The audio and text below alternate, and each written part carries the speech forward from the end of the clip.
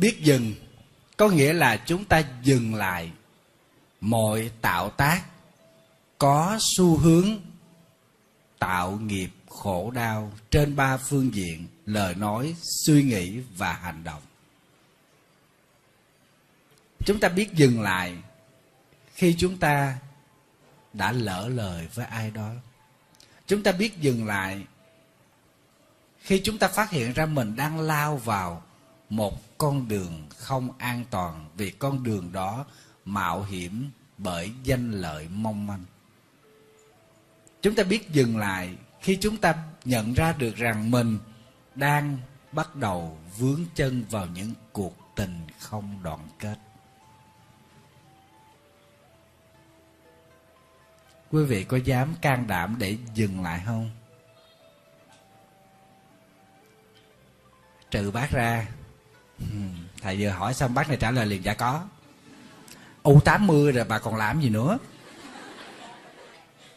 À, thưa quý vị thực ra bác này nói là nói ở cái người quãng cuối của đoạn đường. Đoạn đường đời khi đã kinh qua tất cả khổ đau thì bác biết được những cái ham muốn đó cuối cùng chỉ là nỗi thất vọng e ê chề cho nên danh mà chi? Lợi mà chi chẳng qua chỉ là bóng câu lướt qua cửa sổ mà thôi. Nhưng mà mấy em này nó còn trẻ lắm bác, nó bắt đầu xuất phát. Nó năng động mà 19 đôi mươi mà, hai mươi mấy, ba mươi tuổi nó phải năng động. Chứ bây giờ mà nó ngồi như bác, như thế thì thì cuộc sống của nó sẽ sẽ đi vào một cái ngã rẽ khác. Nếu nó không có cái sự hướng đạo bằng bằng giới đức của người tu tập thì cái biết dừng này đạo phật gọi là thiểu dục tri túc. Thiểu dục là ít muốn tri túc là biết đủ. Quý vị đừng bao giờ hiểu lầm thuật ngữ phật giáo thiểu dục tri túc. Ha, như một số người trước đây đó họ nói là thiểu dục tri túc là một cái điều vô cùng sai lầm làm cho xã hội chậm phát triển tức là ngăn cản cái đà tiến hóa của con người không phải thiểu dục tức là chúng ta muốn ít lại, chúng ta không có muốn nhiều nữa. Thí dụ, mình đang phấn đấu để mình mua một chiếc xe máy, thì mình liệu cơm gấp đậu hũ. Tại ăn chay không có nó liệu cơm gấp mắm được. Thì mình mua chiếc xe máy thôi, chứ đằng này đi chạy vài chi để mua chiếc xe ô tô để để bằng chị, bằng em, để rồi nghe không có tiền rồi cuối cùng để bán tháo, bán đổ để trả nợ người ta rồi không đủ nữa. Lúc đó là đi xe hơi quen rồi là xuống đi xe máy chịu không nổi. Tức là biết đủ là như thế đó. Tức là ít ham muốn là như thế. Không phải chậm phát triển, không phải kềm hãm sự phát triển, mà là giúp cho chúng ta cân bằng lại tâm ham muốn của mình. Để chúng ta có được sự thanh thản giữa cuộc đời này. Thầy một lát nữa thầy sẽ triển khai sao? Thưa đại chúng thỏa mãn ham muốn thực ra nó là cũng là một mưu cầu hạnh phúc. Tại vì mình muốn thành phật chẳng hạn đi ha. Và ai đây cũng tu muốn thành phật muốn giải thoát giống như hồi nãy cái, à, cái vị thầy mà mà mà mà tác bạch đó là mong muốn sẽ có một ngày nào đó không xa mình sẽ được giải thoát tất cả khổ đau để chúng ta thành tựu được một cái quả vị gì đó mà chúng ta tự mình à, chứng nghiệm lấy được thì cái đó cũng là cái cái mong cầu. Cái mong cầu vẫn là điều mà đem đến cho chúng ta hạnh phúc. Thí dụ như quý vị muốn đi tới đây nghe thuyết pháp, cái đó cũng là hạnh phúc. Mà tới đây rồi bị cái màn nó che cho nên chúng ta mới thấy được cái muốn đó nó nó làm cho chúng ta khổ. Phải không? Các vị hai cánh tả hữu. Muốn gặp thầy mà giờ cũng bị cái màn nó che bởi vậy, nghèo nó còn gặp cái eo. Trồng đám dưa leo nó cũng gặp cái đèo. Cho nên bản chất mong cầu, nó vẫn là một thứ hạnh phúc. Nhưng quý vị phải nhớ một điều, mong cầu nó là hạnh phúc chống tàn phai và khó đạt được viên mãn. Nó chỉ là những thứ giả tạm hãy chúng ta mong cầu nhiều, chúng ta sẽ khổ đau nhiều vì nó tàn phai nhanh lắm. Thầy nghĩ vấn đề này là các vị là là là hiểu nhiều hơn thầy. Tại vì các vị sống ở trong cái cuộc đời mà cuộc đời của mình nó đầy gió bụi của nhân gian, gió bụi của trần thế. Ngọn roi đời nó quất vào chúng ta.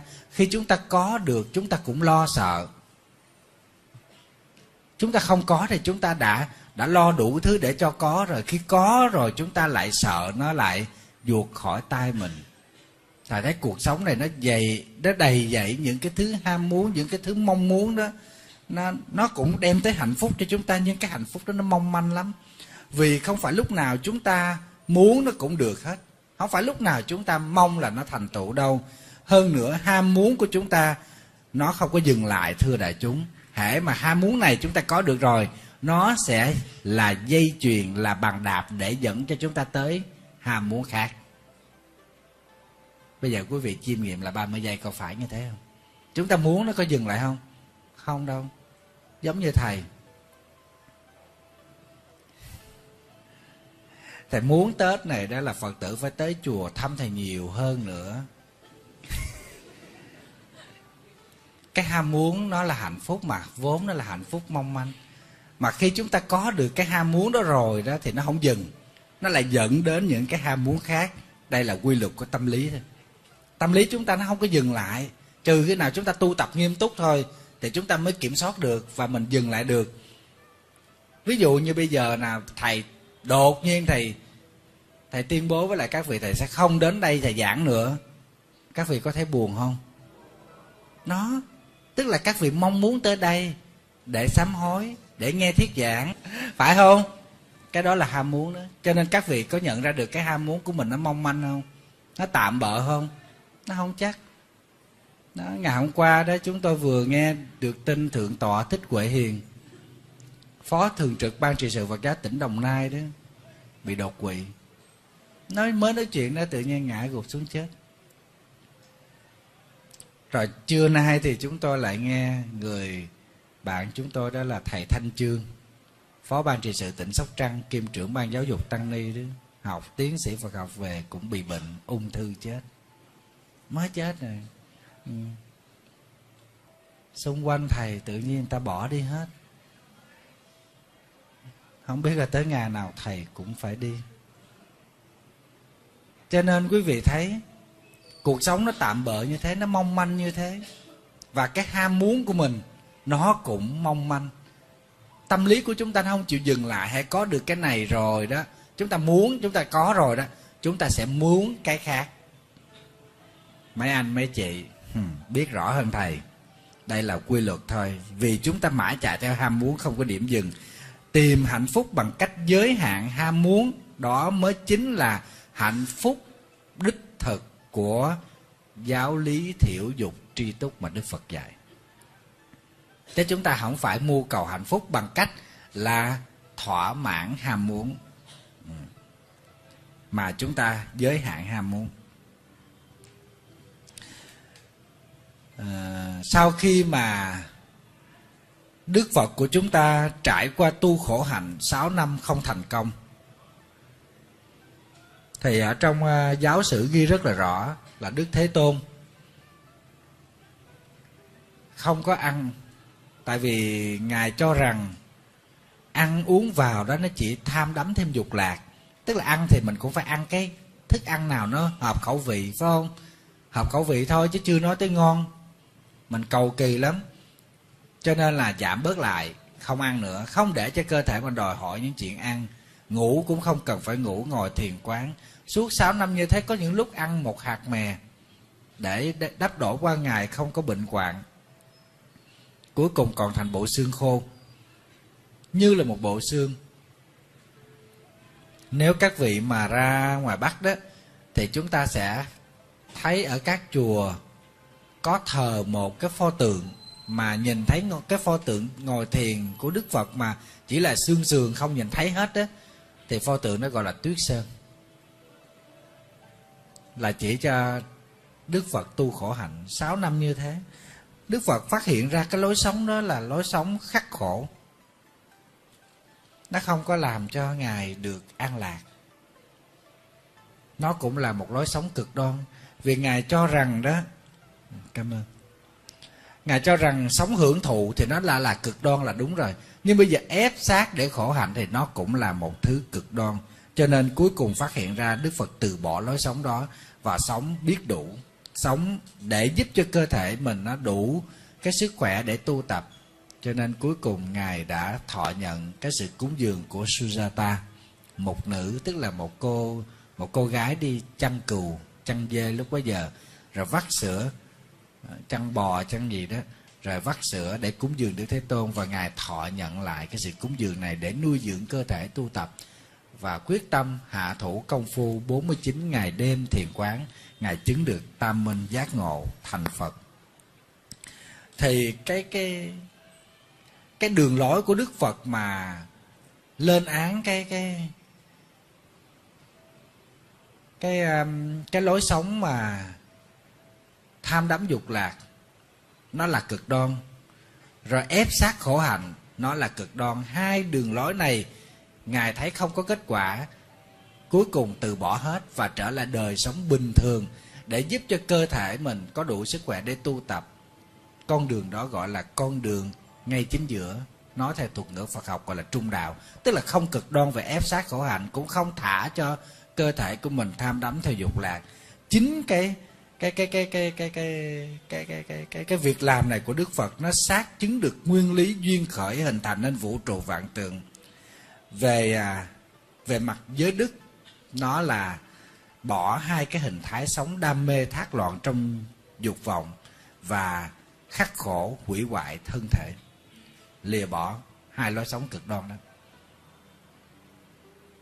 Tức là không có thả lỏng mình để mình sống thác loạn theo dục à, theo cái tham dục của mình cái ái dục của mình và cũng không có khắc khổ để ép sát của mình thì chính những cái điều này đức phật dạy cho chúng ta một trạng thái sống mới.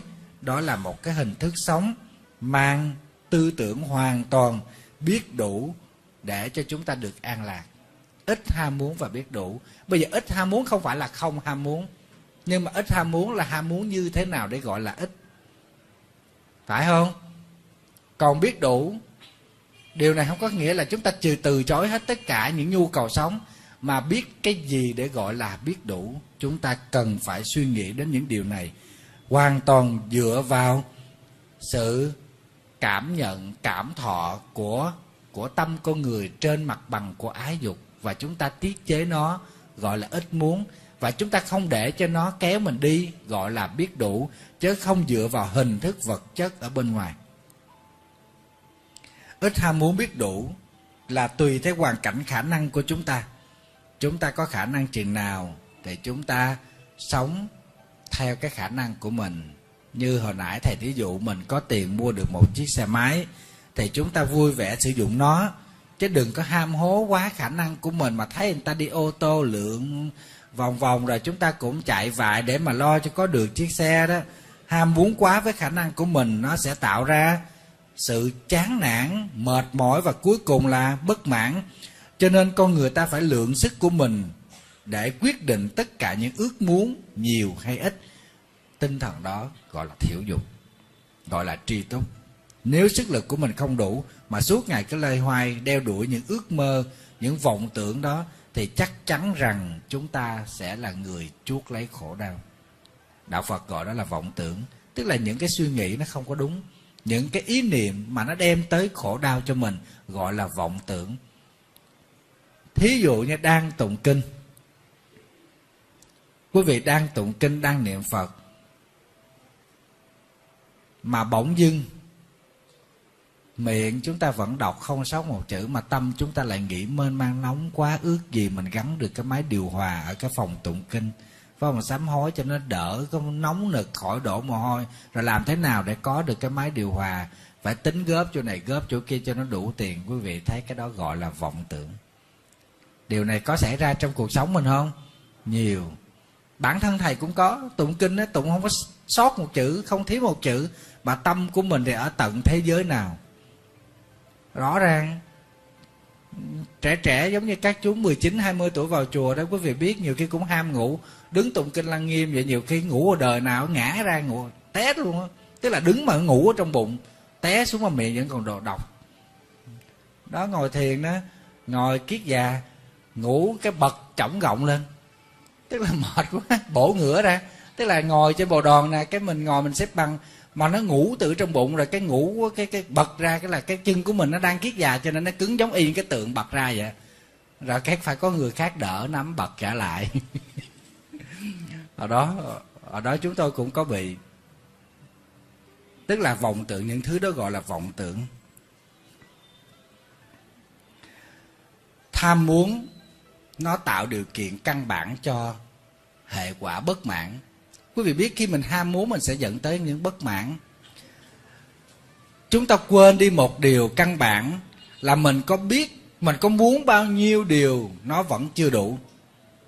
Một khi chúng ta đã đã khởi lên cái cái ý muốn, ham muốn, ở đây thầy nói là ham muốn.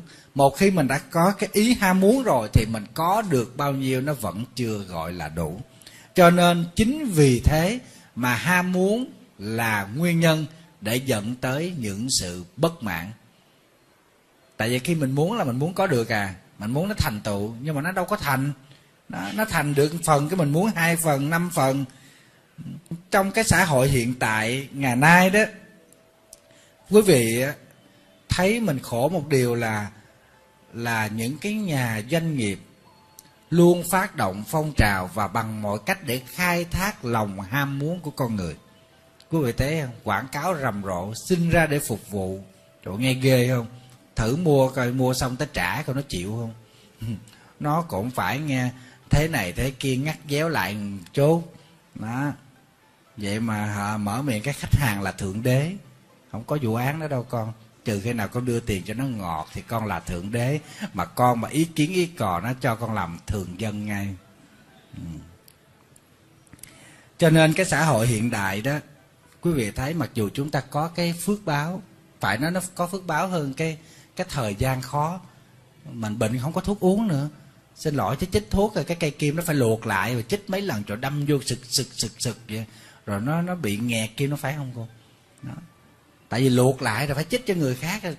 Cho nên tại làm sao mà người Việt Nam hiện tại làm một cái thống kê là gần một phần ba dân số bị nhiễm siêu vi B nhiễm gan siêu vi B là do một cái thời khó khăn. Chúng ta không có kim chích đâu, phải giờ chích một cái dục hoặc là mình mình ghim cái mình thấy nó bị nghẹt là mình bỏ. Họ đó phải luộc lại. Luộc lại cái kiếm dài xong rồi chích cái sực giường ừ. lụi lụi lụi lụi không nghe mau rút ra. Rút ra, lụi tiếp. Lụi xong rồi nấu nấu mà quý vị biết nhiệt độ sôi 100 độ nó vẫn không chết virus rồi này là kiến thức y khoa.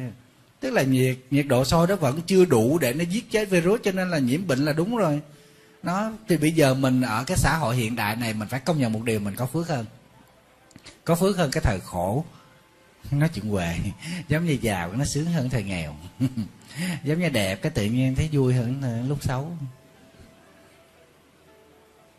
nhưng mà quý vị biết, một khi mà phước báo chúng ta tăng, điều đó đồng với nghĩa tham dục của chúng ta bị khai thác triệt để. Khi mà tham dục chúng ta được khai thác như thế đó, thì chúng ta sẽ luôn luôn đối diện với điều không chấp nhận, không vừa ý và chúng ta không thỏa mãn với cái gì hết. Vì nó có nhiều dịch vụ quá, phải không? Thí dụ như bây giờ quý quý vị mua gạo thôi, chỗ này quý vị gọi mà 5 phút có gạo liền, quý vị sẽ thích hơn cái chỗ gọi 10 phút. Đúng không? Mình gọi cái chỗ này mà cái chị đó chỉ nghe điện thoại xong chứ nó trời chị nói chuyện quá ngọt, có gạo mới này, gạo mới này để em giao cho chị liền 5 phút là có liền, chị chờ tí nha. Còn mình gọi tới cái kia bà kia bà nó làm gì vậy? Đợi tí đi. Người ta đang lu bu nè.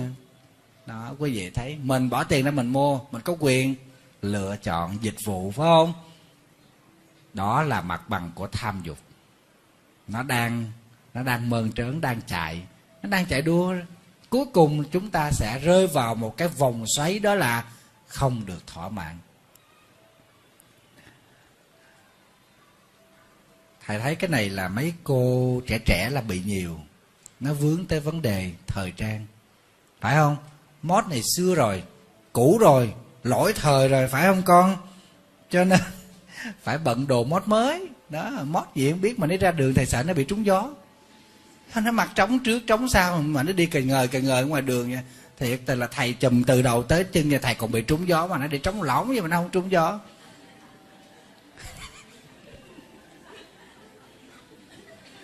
Xin lỗi, thầy dị ứng mấy vị phật tử mà đi tới chùa và mặc đồ mà nó dị hợm sao đâu á. Tại vì thầy thấy áo tràng nó đẹp, nó quen rồi tự nhiên bây giờ không phải áo tràng mà có, bữa hôm thầy có thấy có người mặc đồ tới thầy nhìn mắc cười lắm. Nó có cái áo tay dài nha nhưng mà cái tay áo nó chỉ tới đây thôi tới cái này thôi. Tới đây thôi bắt đầu nó trống hết rồi phía dưới nó có hai miếng đi cà lủng lẳng lủng lẳng phất phơ vậy. Rồi thêm cái áo khoác nó cũng bằng lưới nữa trời đất quỷ thần. Rồi thêm cái khăn tròn cũng bằng lưới. Rồi cái nón cái gì nó quấn trên đầu cũng bằng lưới thầy tưởng nó alibaba chứ. Thầy kêu tới thầy nói con à, ở ngoài này là mùa gió chướng. Ở vị chuyên tu mùa này là mùa gió chướng mà con đi một vòng thôi, coi chừng gió nó thóc vào thì dầu nước xanh môi ra, sức không kịp. Nó không hiểu. Thầy nó đi cái trước mua cái áo bận vô đến là trúng gió con, mà đi chùa mà ăn mặc gì thế gớm hả? Lúc đó nó mới hiểu ý thầy. Trời ơi, thầy nói chuyện quá dễ thương mà nó không hiểu. Đợi thầy nói trắng trợn ra vậy thầy nói xong rồi thầy nghe, thầy mắc cỡ gần chết vậy.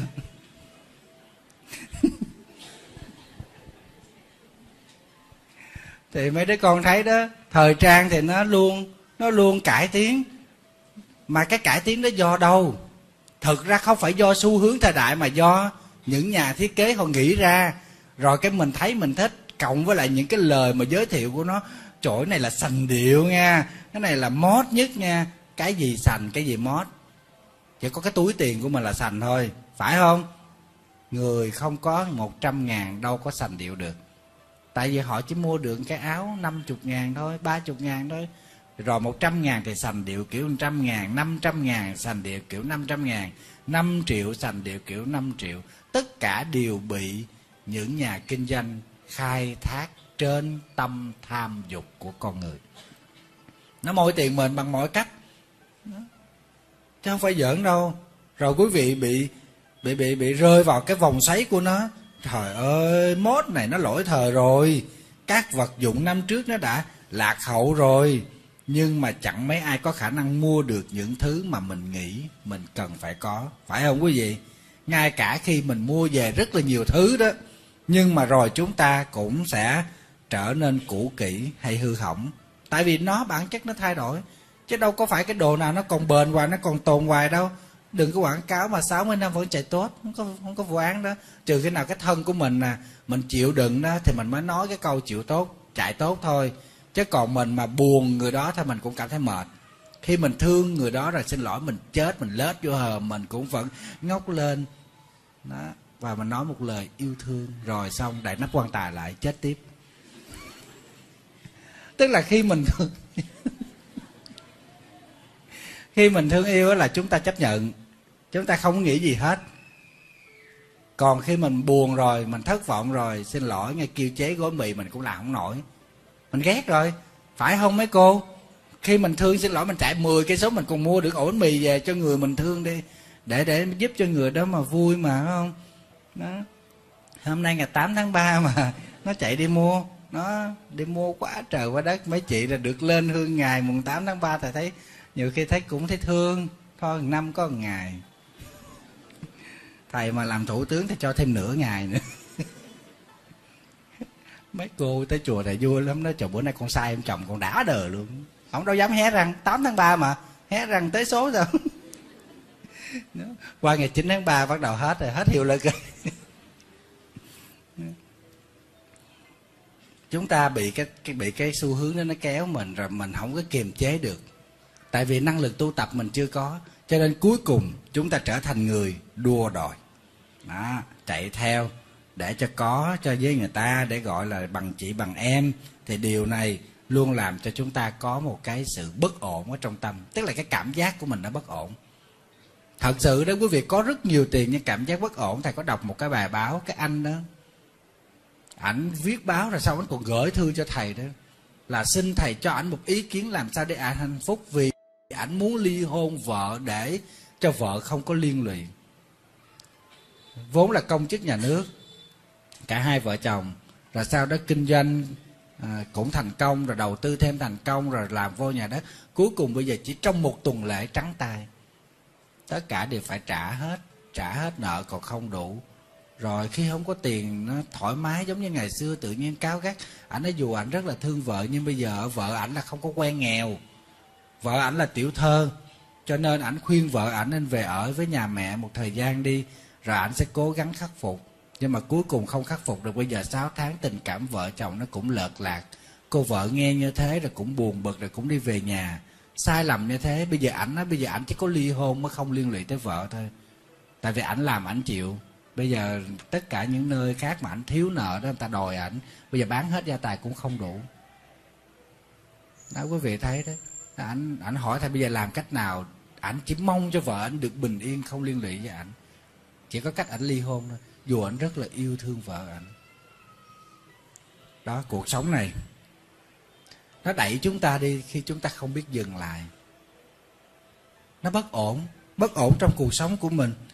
Nếu trái lại, chúng ta tự nhủ rằng những gì mình đang hiện có là tốt lắm rồi. Quý vị đồng ý không? Cho nên quý vị phải viết một cái câu này nè. Dán ở chỗ mình làm việc mình thường thấy vậy là tốt rồi. Không biết cái gì, mà cứ ai mà đòi hỏi gì cái mình kêu, đọc đi con. Vậy là tốt rồi. Tức là có 10 đồng thì tốt, kiểu 10 đồng. Có 5 đồng chúng ta vẫn thấy, có 5 đồng là tốt. Phải không? Đó.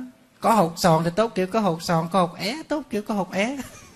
Chứ là chuyện tự nhiên có hột xè, sòn mà mà mình muốn cái hơn nữa rồi, hột é, mình muốn có hột sòn thì nó khổ ghê lắm mình ở nhà lá thì mình cứ ở nhà lá, mình vẫn nghe được tiếng mưa rơi.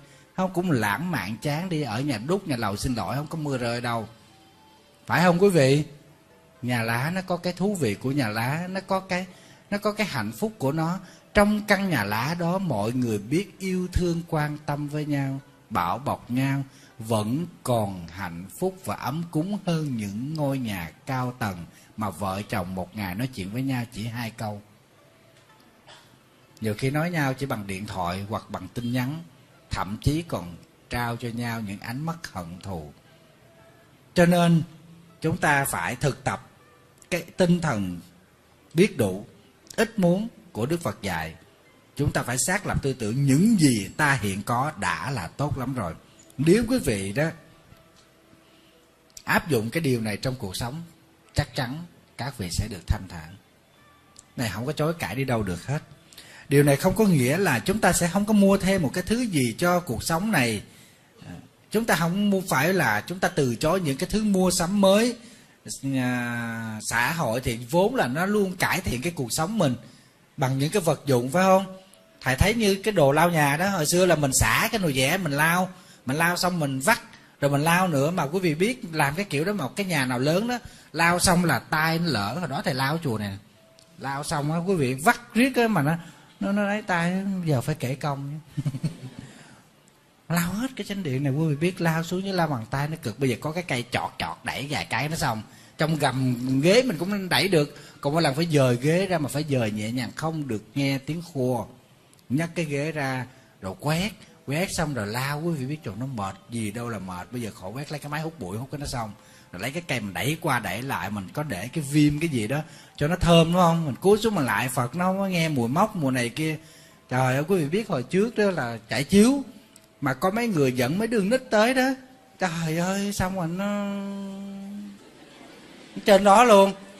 Ủa, thầy gốm gì đâu là gốm thầy giặt rồi mà thầy vẫn có cảm giác là nó bị dính, cho nên là thầy đứng ở ngoài gặp thầy lại, chứ nào không đứng trên chiếc chiếu. Mà hồi xưa đâu có chiếu nhựa chiếc chiếu nó bằng cái gì? Bằng bằng cọng lát đó. Nó còn cái đốm, quý vị biết, nó còn cái dấu. Nó còn cái màu thâm thâm. Trời thầy ám ảnh ghê lắm, quý vị biết. Thầy thấy bây giờ nó tiện dụng thì những cái thứ nhu cầu đó, những cái gia dụng, những cái vật dụng mới đó trong xã hội cần cải thiện về mặt kỹ thuật, công nghệ, vân vân. Mình có nhu cầu về một thứ gì đó thì thật ra làm cho cuộc sống của chúng ta nó thăng hoa hơn, nó hiệu quả hơn à, thì chúng ta mua sắm chẳng có gì là sai trái cả. Miễn là mình có đủ tiền để mua hay không. Phải không quý vị? Đụng tới tiền là quý vị phải suy nghĩ. Quý vị muốn mua gì cũng được nó tóm lại là vậy đó nhưng mà có đủ tiền hay không? Đây mới là điều quan trọng. Và cái nguồn tiền này nó từ đâu? Nó có bằng chính sức lao động của mình một cách chân chánh hay không? Hay là nó được thu vén bằng những chiêu thức đen tối. Nói đơn giản, tức là chúng ta sống theo chánh nghiệp, tức là nghề nghiệp chân chánh. Đó. dù có mua được hay không, trong lòng mình vẫn thấy thanh thản. Vì sao? Vì mình hài lòng với những gì mình đang có. Chứ không phải có tiền là mua đâu. Quý vị biết á, không phải giỡn đâu.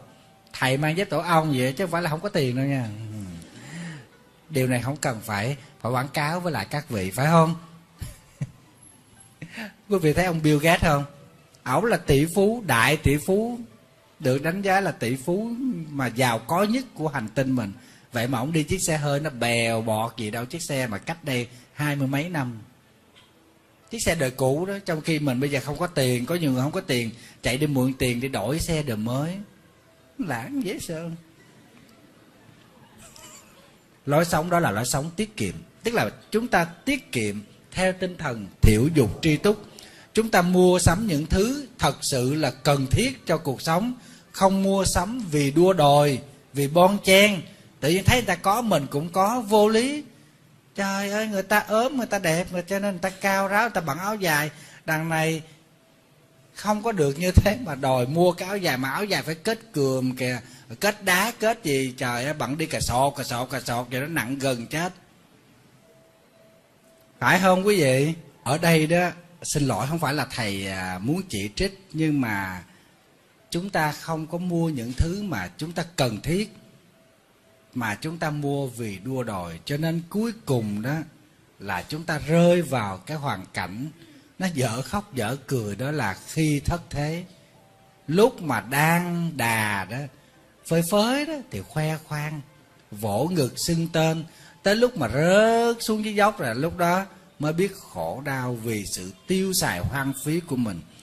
Cho nên lúc mà tiêu xài đó, mua đó, những cái đồ mà tốt đắt giá, dù mình có tiền, thầy chỉ mong các phật tử hãy dừng lại 3 phút thôi để mình suy nghĩ rằng có những người còn nghèo hơn mình, khó hơn mình và thiếu thốn hơn mình nhiều.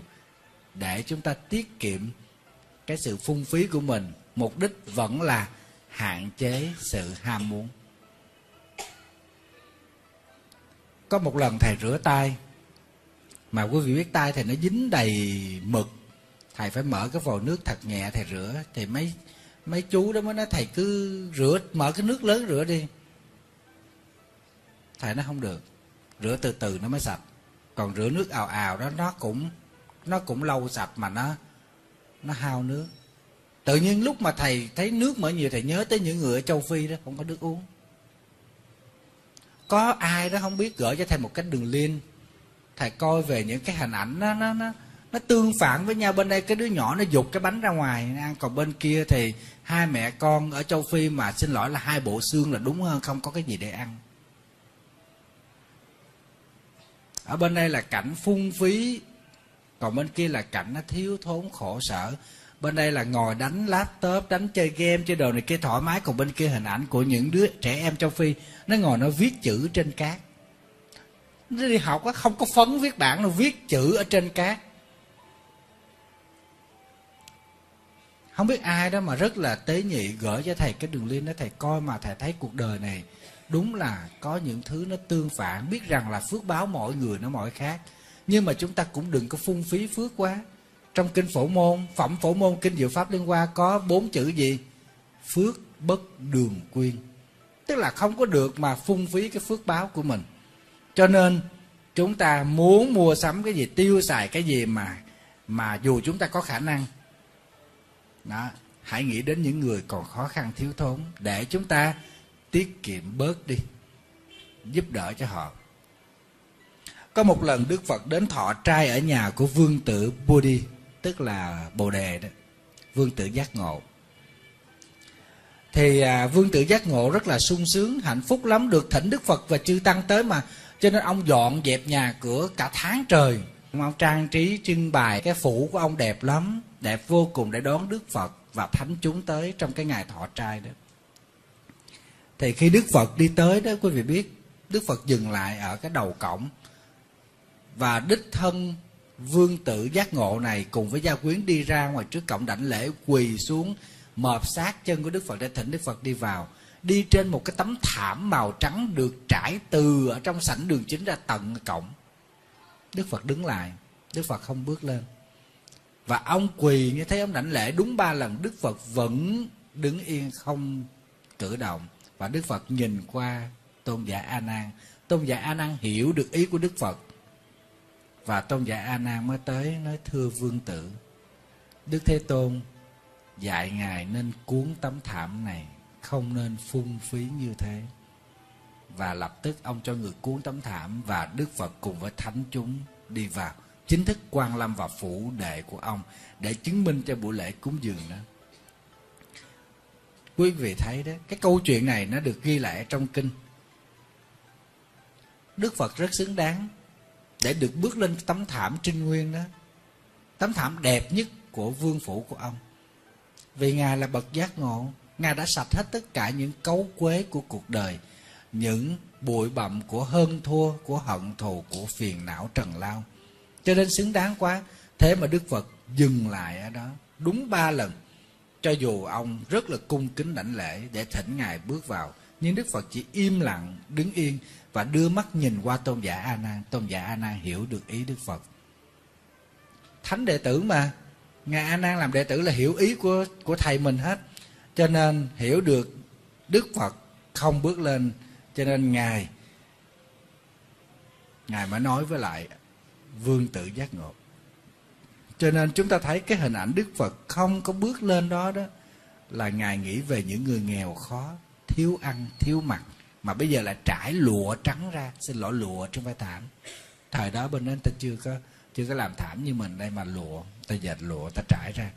Hành động cao cả này của đức phật dạy cho chúng ta một cái bài học là tránh lãng phí. Nó bây giờ đang hô hào tránh lãng phí, chứ thực sự là thấy phung phí vô cùng. Phải không quý vị? Rất là phung phí. Cho nên chúng ta biết hài lòng với những gì mình đang có là một phẩm chất không thể thiếu trong cung cách sống yêu thương và chúng ta biết san sẻ với người mình yêu thương. Khi ham muốn thôi thúc, thật sự chúng ta không có tinh thần vị tha. Đích thực là chúng ta không có tấm lòng vị tha.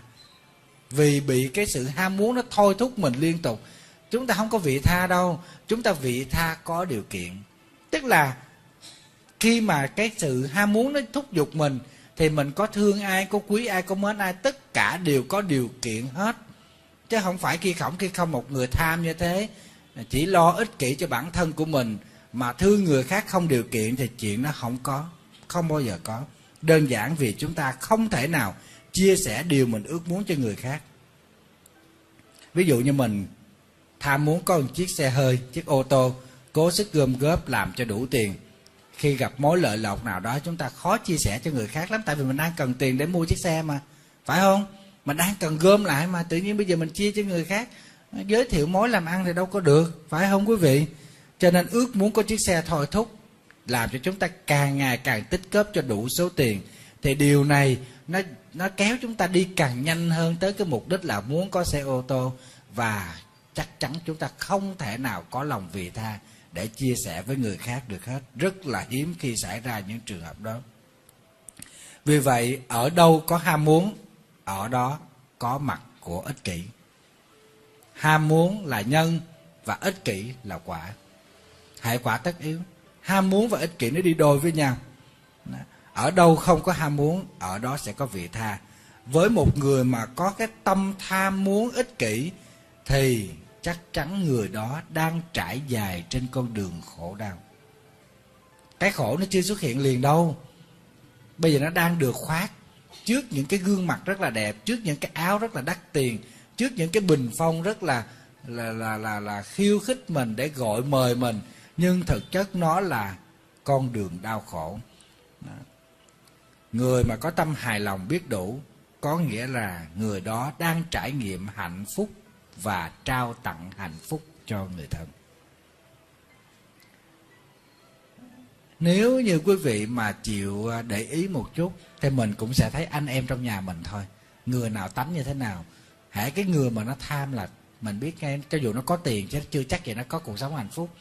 Nhưng mà trong anh em mình có những người họ biết bằng lòng với những gì họ đang có, dù là họ không có khá, nhưng có khi họ lại rất là hạnh phúc.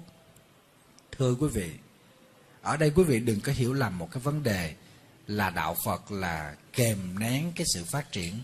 Xã hội luôn tôn vinh những con người có ý chí phấn đấu và những cá nhân có khát vọng làm giàu. Điều này hoàn toàn không có trái ngược với tinh thần thiểu dục tri túc, vì đây là những khát vọng ước muốn tích cực.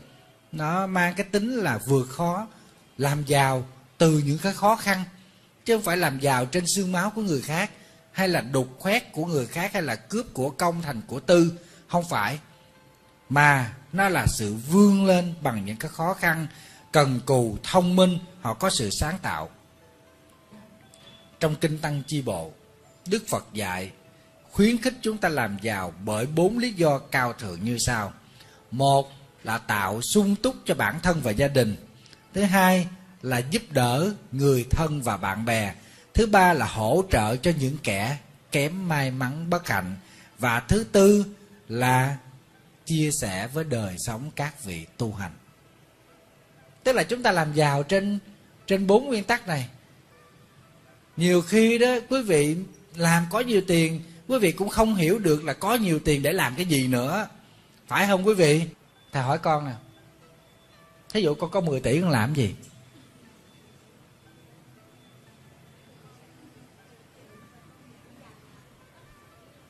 Đứng lên đứng lên, trả lời, nói mái coi. Và thí dụ như con có 10 tỷ và con làm gì trả lời liền, không có suy nghĩ. Dạ nam mô di đà phật. Nếu mà con có 10 tỷ thì à, con chừa lại một số để à, sau này ừ, dạ đủ sống thôi thầy con bỏ ngân hàng để à, lấy lãi còn bao nhiêu thì con đi từ thiện. Tôi có nhiều tiền quá mà thầy để tiền sợ người ta lấy. Có tiền sợ ta lấy con là mâu thuẫn, trong khi con có tiền, con nguyện vọng là đi làm từ thiện để đưa cho người ta lấy. Mà giờ sợ người ta lấy là làm sao? Phải không? Đi làm từ thiện tức là mình mong cho người ta lấy, mà đem đi cho mà. Mà bây giờ sợ người ta lấy, mà khôn khéo sao ta hỏi để lại bao nhiêu? Để lại vừa đủ. Bao nhiêu thì gọi là đủ. Không biết, thấy không? Quý vị thấy không? Cũng không biết. Đột ngột chúng ta có tiền nhiều thực chất chúng ta vẫn chưa biết cách để xử lý đồng tiền. Mình có ít ít đó mình biết tại vì mình đang nghèo nghèo nè, mình mơ ước mình có thí dụ như mình có 10 triệu đi mình ước mình có 20 triệu thì mình sẽ quản lý được 20 triệu đó. Mình sẽ có thể sử dụng được đúng nhưng mà đùng cái nó có 200 triệu chưa chắc chúng ta xử lý đúng đâu chưa chắc chúng ta biết cách sử dụng đâu.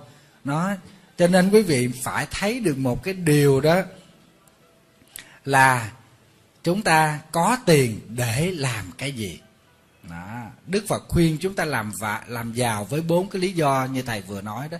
Thứ nhất là tạo đời sống sung túc cho bản thân mình và gia đình. Thứ hai là cho người thân và bạn bè. Thứ ba là chia sẻ với người nghèo khó. Và thứ tư là cúng dường cho tăng lữ trong kinh tăng chi bộ. Chúng ta có tiền, chúng ta hướng tới những điều này. Mà thầy thấy hình như là ba cái phần sau thì nó ít, mà cái phần thứ nhất là nhiều. Cho nên nỗ lực làm giàu của chúng ta không những mang lợi ích cho bản thân mà còn góp phần tạo phúc lợi cho xã hội. Đây mới là điều quan trọng mà đức phật dạy trong kinh tăng chỉ bộ. Không phải để thỏa mãn dục lạc, nhưng mà đương nhiên chúng ta cũng phải có một phần.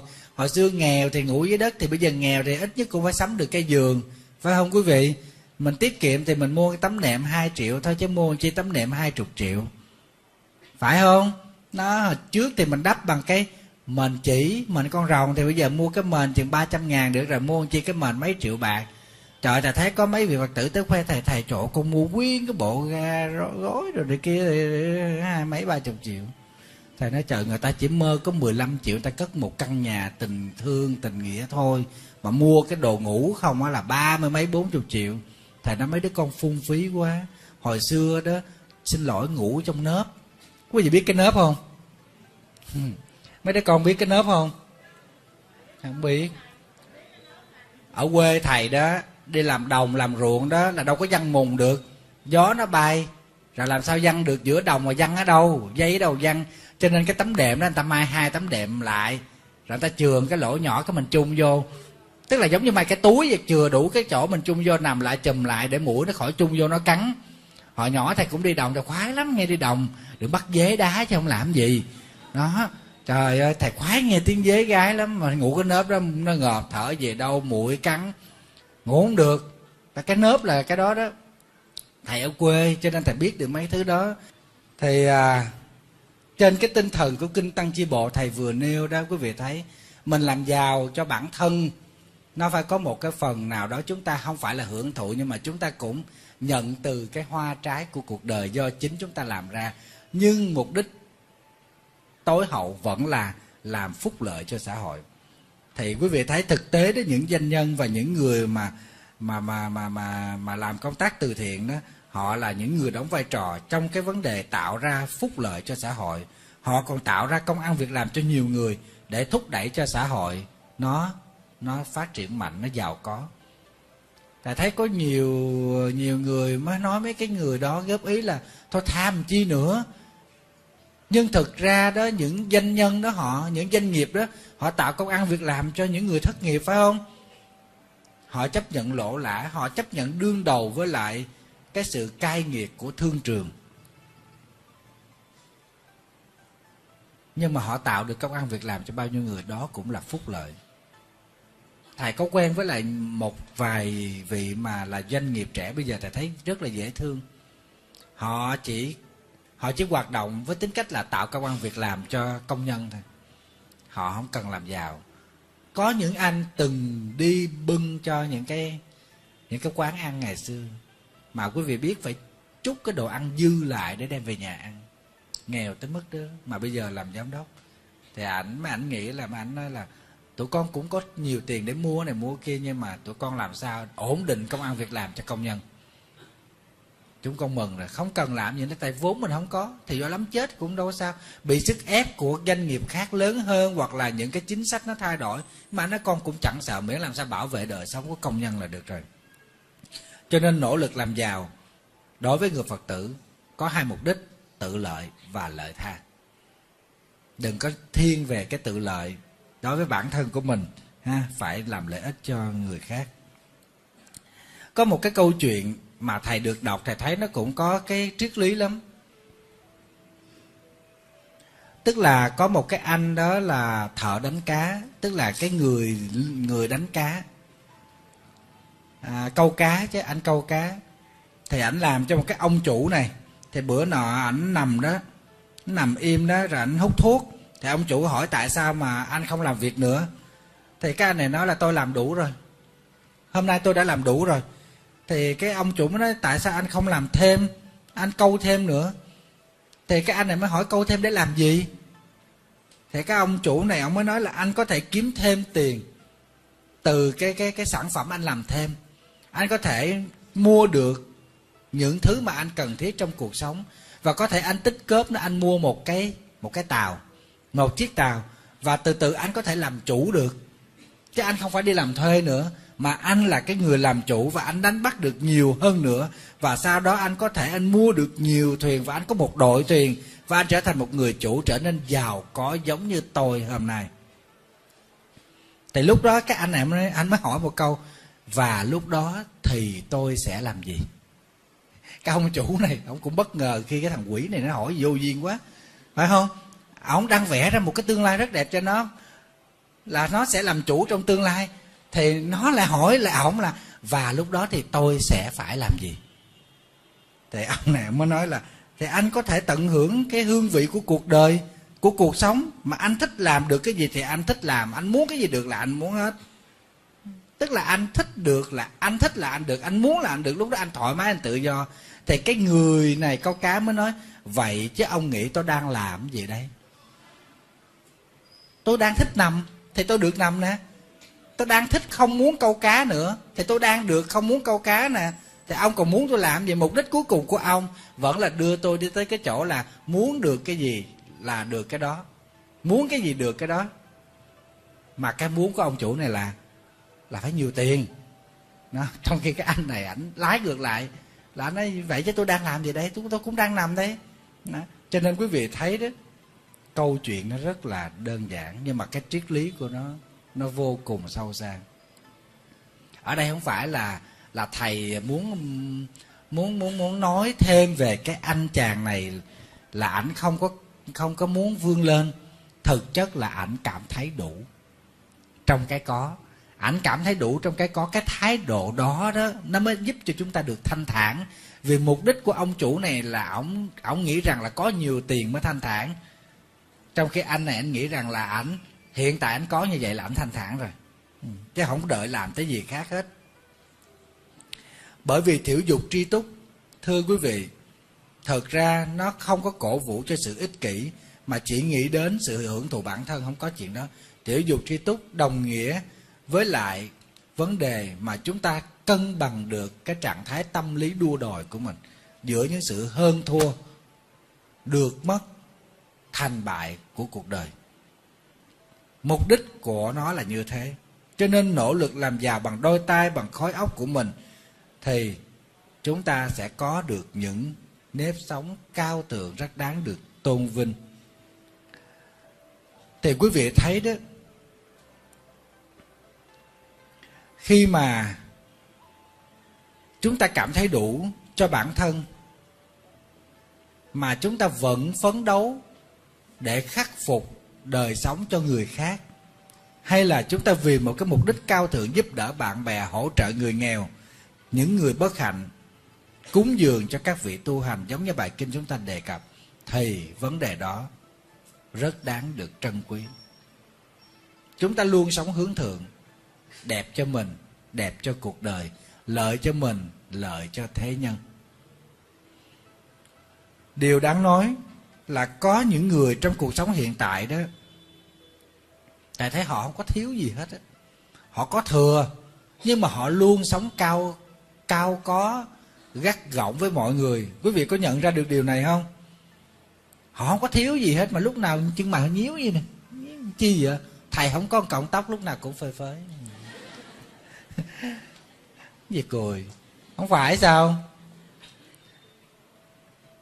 Họ có tùm lum tùm la mà lúc nào cũng nhíu mặt nhăn mày hết, tại vì họ lo họ sợ mất, giống như nãy cô để nói đó. Không có làm chi để rồi cũng mất, sợ mất, lo mất. Nó là như thế đó. Lắm khi là chúng ta than thở, cầu cạnh người khác để xin thêm nữa. Đêm ngày không ngủ được, lo nghĩ đến trăm mưu ngàn kế để đạt cho được điều mong ước. Có rồi còn ưng có thêm, mong cầu điều này cho đạt. Đạt được rồi kéo mong thêm cái khác cho mới. Một sinh ra hai hai sinh ra ba. Nó sinh ra bề bộn rồi, cho nên tâm trạng lúc nào nó cũng bời rời hết. Tức là không lúc nào mình thanh thản hết. Hãy nói thiệt tại thấy mấy người giàu có ít thanh thản lúc nào cũng lo lắng, lo to như giống như mấy cái vị phật tử mà bình thường nó tới chùa thầy, xin lỗi quý vị, có thể làm công quả, có thể nói chuyện. Còn mấy người mà bận rộn quý vị biết tới chùa mấy phút thôi thì phải đi về, phải giải quyết công việc. Thầy nói thôi đi, cứ về đi con. Khi nào đóng nắp quan tài lại mới biết là mình được rảnh rang thầy xỉa sói ghê lắm con. Cái tâm trạng lúc nào nó cũng rối bời như thế thì làm sao được thanh thản? Quý vị đồng ý không?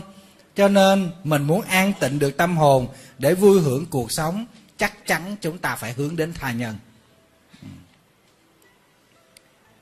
Có một đôi vợ chồng nọ làm cái nghề đốn củi ở trong rừng, họ nghèo lắm. Quý vị biết đốn củi để mà đổi gạo ăn mà. Hai vợ chồng nghèo khó như thế. Thì một bữa hôm ông chồng, ổng đốn củi, rồi ổng bới cái gốc cây lên thì vô tình ổng đào được một cái tượng la hán bằng vàng. Khi ổng về, ổng đem cái tượng la hán về hay vợ mừng quá thế là cuộc sống đổi đời. Nhà được cất lên, phải không? Vật dụng được mua sắm đầy đủ, vườn tược được mở mang rộng rãi rồi kẻ hầu người hạ. Đó, hồi đó thì làm lam lũ không có cơm ăn, bây giờ cơm dân nước rót tới miệng. Ngán, nhìn thấy nó không vô. Chẳng gì đâu. Là thấy có nhiều người tới chùa Sao bây giờ con thấy thức ăn, con ăn không vô? Con thấy ngán thầy nói con ơi con người ta chỉ mơ có cái đồ có, có cái tô mà thức ăn thừa nó còn dư lại đó người ta lấy người ta ăn còn không có. Rằng là thấy ngang ăn không vô. Không có bệnh. Không có bệnh hoạn gì vậy sao này thầy biết điệu chảnh. Trong đó có thầy.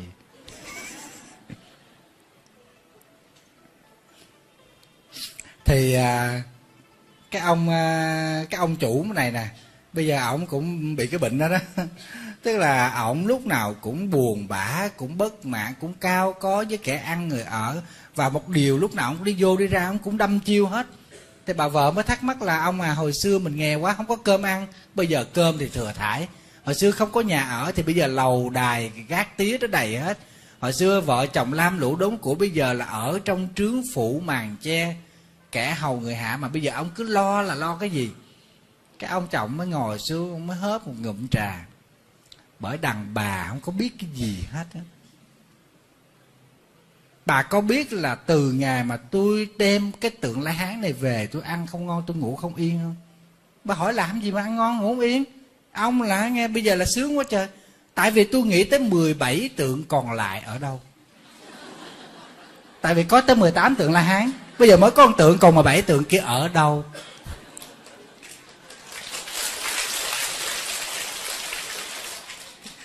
Bà thử nghĩ có làm sao tôi ăn cho ngon, tôi ngủ cho yên khi mà tôi chưa biết được 17 tượng la hán còn lại ở đâu. Nó, ông nói vậy đó. Người chồng tham lam cuối cùng cái suy nghĩ về 17 tượng la hán đó rồi sanh bệnh, rồi chết. Nó, bỏ tật. Quý vị suy nghĩ coi có khi nào mình giống con cha quỷ này không? Có không? Có. Chắc chắn có bản thân thầy cũng có là thầy nói thiệt. Thầy không có vướng vào trong cái vật chất. Nhưng mà thỉnh thoảng thầy thấy thầy cũng vướng vào những thứ khác. Tức là mình có được cái này, sao mình muốn có được những thứ khác? Ví dụ như đệ tử thầy đóng ngoan rồi, thầy muốn phải học giỏi. Đã học giỏi rồi, thầy muốn phải khẳng định vị trí mình. Đã khẳng định được vị trí mình, thầy muốn các chú đệ tử của thầy phải kế thừa sự nghiệp của thầy một cách vẻ vang. Chứ họ đừng có kiểu cha làm thầy con đốt sách thỉnh thoảng thầy cũng thấy, thầy cũng thấy là thầy bắt đầu giống cái ông này. Cứ suy nghĩ hoài. Vì mình nghĩ đệ tử mình sẽ được thế này, sẽ được thế kia, nhưng mà thực chất nó không có được vậy đâu. Mình phải bằng lòng với những gì mình đang có trong hiện tại là hạnh phúc. Tại thấy cái miệng thầy nó leo lẻo leo lẻo như vậy đó, mà thầy cũng vẫn cứ khô hỏi khổ. Cứ khổ hoài. Cho nên là đêm trong đèn, không ngủ được. Lòng con người là như thế. Hễ mà trước cảnh thì sinh tình. Tức là vướng vào cảnh nào chúng ta sẽ bị đắm lụy bởi cảnh đó, bị chi phối. Nó thầy ở chùa mà còn như thế thì huống chi phật tử tại gia. Cho nên các vị phật tử mà tới than van chồng thế này, than van chồng thế kia rồi các vị nó vợ, không có trách nhiệm thầy nói, thôi con ơi, ai thấy cảnh cũng vướng, thầy thấy, thầy cũng vướng. Nhưng mà quan trọng là mình biết chia sẻ với người đó để kéo người đó trở lại. Chứ đừng có làm gay gắt quá đi. Giống như có một cô phật tử vậy đó bây giờ khổ lắm, tức là chồng ở bên úc rước qua. Rồi bây giờ phát hiện ra chồng phản bội mà cổ nói thì ông chồng ông chối. Ông chối rồi bây giờ ông đi về việt nam. Về việt nam hẹn với cái cô mà chít chát trên mạng đó. Hẹn với cô đó mà cô người vợ biết được, bắt được luôn đó. Nói luôn mà ông không chối. Rồi xong cái cô vợ này đi nhờ cái đứa em đón ở sân bay, đi rình, đi chụp hình, rồi đi vô tới khách sạn. Cái người em đó không kèm nén được mới la lên, tại sao anh lại đối xử với chị tôi như thế? Gọi điện về cho bà chị bà chị mới la um sùm và cái con nhỏ kia nó cuốn gói nó bỏ chạy. Thế là ông này cũng làm rùm beng lên nó tại sao mà làm cho ông mắc mặt như vậy? Cứ để cho ông đi chơi mấy bữa đi rồi ông về ông nuôi con. Trời ơi, quá dễ thương. Đi chơi mấy bữa cho thoải mái, về nuôi con. Ừ. bà hiền quá, phải không quý vị? Nhưng mà thực chất cái người vợ đó xử lý không khéo. Thầy nói, con khờ quá, con chụp hình để sau này đó chồng con mà có nói cái gì đó, con đưa cái hình ra, em biết hết nhưng em không nói. Thì ông chồng phải sợ mình hơn, phải không? Đằng này đi làm rùm beng như thế, ổng ổng lỡ rồi. Ổng sĩ diện mà, cho nên là đứt luôn. Đó. thầy thấy khổ quá đi, quá là khổ đi. Nếu không biết hài lòng với những gì mình đang có thì chúng ta không bao giờ có khả năng hạnh phúc trong hiện tại chắc chắn là như thế, thưa quý vị. Chúng ta thường hay quên rằng hạnh phúc không phải do chúng ta đạt được cái mà chúng ta không có, mà đúng hơn là chúng ta nhận biết và trân trọng những gì chúng ta đang có. Phải không, đại chúng? Thầy xin nói lại một lần nữa, tại vì câu này nó hay quá.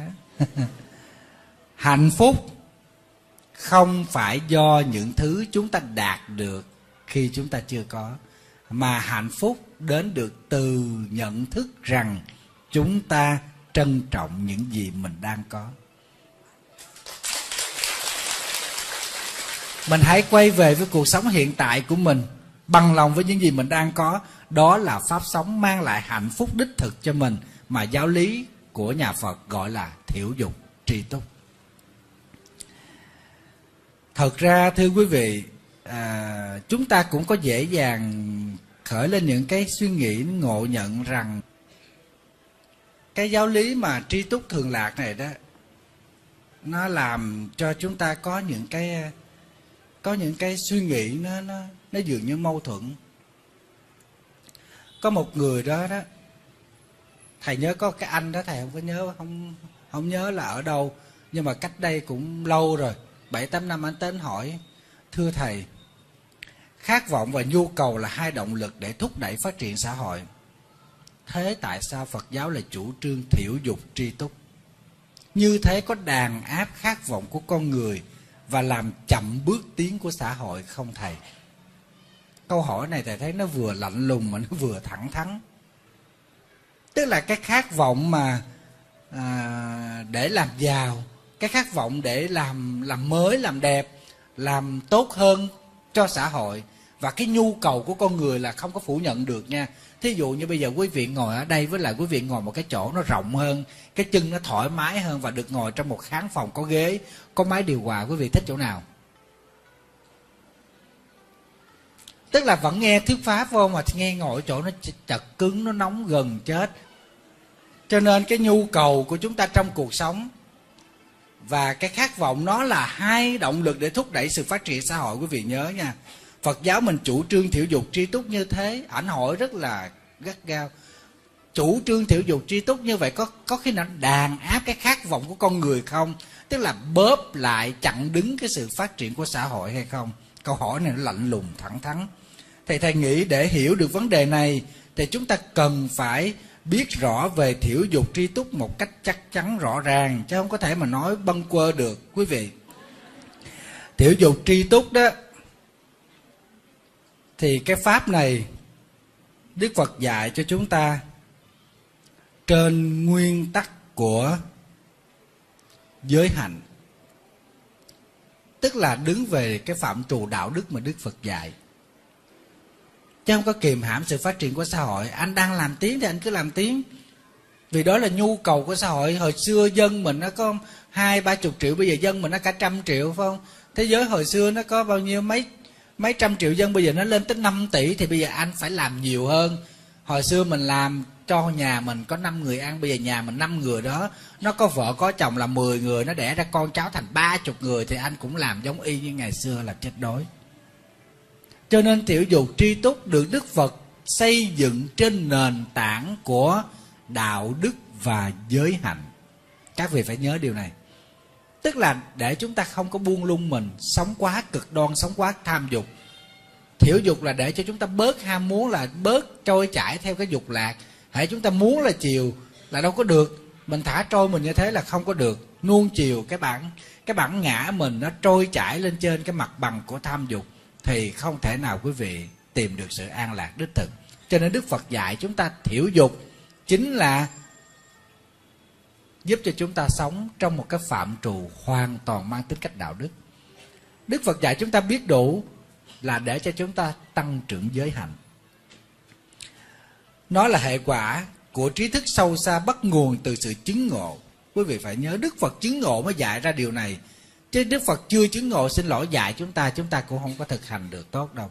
Mà chứng thực ở trong cái đời sống cho nên cái về mặt nhận thức đây là nguyên lý duyên khởi để mà vận hành lên tất cả thế giới vạn tượng xung quanh chúng ta. Nào, quý vị thấy cắm cắm một cái diệu hoa như thế này là mất 5 phút cho tới 10 phút là cũng đẹp rồi cũng quá đẹp rồi. Chứ cần chi mà cắm ba bên bốn phía nó vòng quanh đây mất hai tiếng đồng hồ mà xấu quắc? Phải không quý vị? Hãy mà cắm hoa đẹp quá thì ông thầy sẽ xấu đi. Cho nên cắm hoa vừa thôi, ông thầy mới nổi bật. Quý vị muốn đẹp cứ tìm người xấu mà kế, ngồi kế, tự nhiên mình đẹp à. Tại vì nó xấu, tự nhiên mình đẹp ra. Quý vị muốn cao cái đứng gần cái người thấp. Quý vị muốn trắng cái ngồi kế người đen. Nó có cái sự cái sự tương phản nhưng phải nhẹ nhàng, ngọt ngào. Chứ mình tới mình làm bộ thấy người ta, cái mình đo người ta ngang dài mà nó kiểu đó, nó chửi mình chết đó. phải không? Do đó thiểu dục tri túc, thưa quý vị. Nó giúp cho chúng ta ghìm cương lại để chúng ta sống đạo đức hơn, từ bỏ hình thái sống đam mê cuồng loạn trong dục vọng và khắc khổ hủy hoại bản thân. Đây là mục tiêu chính của thiểu dục tri túc chặn đứng mọi thác loạn. Sống ngũ dục, tham đắm của chúng ta. Và không để cho chúng ta rơi vào cái hình thái cực đoan, đó là sống ép sát khổ hạnh. Hoàn toàn nó nằm trên cái nền tảng của giới hạnh, của đạo đức con người. Chứ nó không phải kiềm hãm. Do đó thì dục truy túc trước hết thì chúng ta phải biết nó là một cái chủ trương sống để làm đẹp cuộc đời đây hoàn toàn nó thuộc về thái độ tâm lý sống. Không phải là giáo độ giáo điều cứng ngắc trói buộc con người ta phải làm theo, mà nó là thái độ tâm lý. Chứ chúng ta không có không có không có giáo điều ở chỗ này nha, đức phật dạy thôi. Vì chúng ta ổn định được cái tâm lý của mình, không có chạy đua theo thời trang, ha. Chúng ta không có lăng xăng lộn xộn với lại vật chất, bon chen, đua đòi, danh lợi, tự nhiên lòng mình thanh thản. Đây là yếu tố tâm lý. Chứ không phải chúng ta cầu toàn hay là chúng ta cầu an cho bản thân mà chúng ta tạo cho cái tâm của mình nó bình yên? Bởi vì đó, nếu mà nói biết đủ chứ, chúng ta không biết bao nhiêu là đủ. Còn nói ít ham muốn chứ, chúng ta có biết chừng nào mới gọi là ít. Phải không? Cho nên đức phật dạy chúng ta ít muốn, biết đủ. Thì chúng ta biết cái ít muốn đó nó có thể mở rộng ra và cũng có thể thu hẹp được mục tiêu của ít ham muốn là không để cho chúng ta chạy đua theo tham dục để thỏa mãn tất cả những dục vọng của mình. Biết đủ là để giúp cho chúng ta bằng lòng với hiện tại. Đó là cách chúng ta hạnh phúc. Không có thể nào bán vé số mà ăn cơm sườn được. Phải không quý vị? Khi mình bán vé số thì mình biết mình ăn cơm với đậu hũ thôi, hoặc là ăn với dưa mắm thôi con. Ăn cơm sườn rồi mai mốt là không có vé số nữa. Mà chúng ta phải bù tiền ở chỗ khác vào. Mà bù tiền chỗ khác thì chúng ta không có cái nguồn. Không có nguồn thì chúng ta phải đi kiếm. Đi kiếm thì nó trở thành tệ nạn của xã hội. Cho nên, ít muốn biết đủ là một cái một cái chất xúc tác để giúp cho chúng ta quân bình lại tất cả những trạng thái tâm lý đua đòi hơn thua của con người, giúp cho chúng ta không đam mê, điên cuồng để thỏa mãn những bản năng dục vọng của mình. Cũng không quá khắc khe với bản thân mang tính cách cực đoan khổ hạnh. Vì nếu để bản thân chúng ta phóng túng đam mê trong mê cung của bản năng dục vọng thì đó là hệ quả của chủ nghĩa cực đoan đoạn diệt. Quý vị biết khi chúng ta mà thả mình sống theo bản năng thì đó là con đường đi tới đoạn diệt. Chắc chắn, hãy bản năng thì quý vị thấy đâu có gì kiềm chế được. Có những con người mà quý vị thấy họ không có không có tự chủ được, bình thường họ không dám làm, nhưng mà lúc mà họ không có không có kiềm chế được, họ sống hoàn toàn với bản năng của họ thì quý vị chịu thua. Gặp những người này quý vị khổ lắm.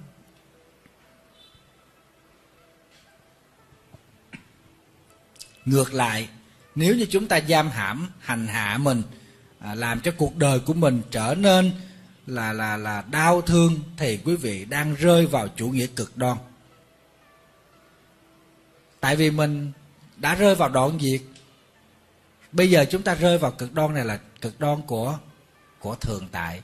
Mà đoạn diệt và thường tại là điều đem tới cho chúng ta khổ sở trong cuộc sống. Vì cuộc sống này vốn là vô thường không sinh cũng không diệt cái này có nên cái kia có, cái này diệt nên cái kia diệt cái này sanh nên cái kia sanh. Chư pháp tùng duyên sanh, diệt tùng nhân duyên diệt. Đức phật nói điều này trong kinh niết bàn. Các pháp có ra do nhân duyên nó sanh và cũng theo nhân duyên mà nó diệt. Như vậy chúng ta nhìn tất cả mọi hiện tượng trong cuộc sống xung quanh chúng ta, từ vật chất cho đến tình cảm, đời sống cha mẹ, vợ con, anh em, bạn bè, đồng nghiệp tất cả đều là nhân duyên hết, thưa quý vị. Chứ không có kiểu mà đặt để đâu nó rớt xuống không có. Nó đều có nhân duyên hết. Thì chúng ta biết nó là nhân duyên, thì không thể nào chúng ta để cho mình rơi vào trạng thái đoạn diệt hay là cực đoan được. Thì hai cái sắc thái sống cực đoan này, nó là hai biên độ vô cùng khổ đau, tạo nên cho xã hội những chết chóc, những khổ lụy nếu ép thân hành khổ hoặc là thác loạn điên cuồng phóng túng, buông thả dục tình tham vọng, những cực đoan này, nó làm cho chúng ta không bao giờ được an lạc. Và chính hai cái thái độ cực đoan này nhờ đức phật soi sáng và cho chúng ta một con đường đi bình yên, đó gọi là con đường trung đạo. Cho nên ở trong kinh tứ thập nhị chương, đức phật có hỏi một thầy tỳ kheo, trước khi xuất gia thầy tỳ kheo này là một cái người đánh đàn rất là hay. Thầy đức phật mới hỏi thầy tỳ kheo đó, dây đàn này mà dùng quá thì nó có phát ra được cái âm thanh hay được không? Thì thầy tỳ kheo đó mới nói, bạch đức thế tôn, nếu dây đàn dùng thì sẽ không bao giờ phát ra được tiếng réo rắt. Đức phật nói, còn dây đàn căng quá thì sao? Thầy tỳ kheo mới nói, bạch đức thế tôn, nếu dây đàn căng quá thì đức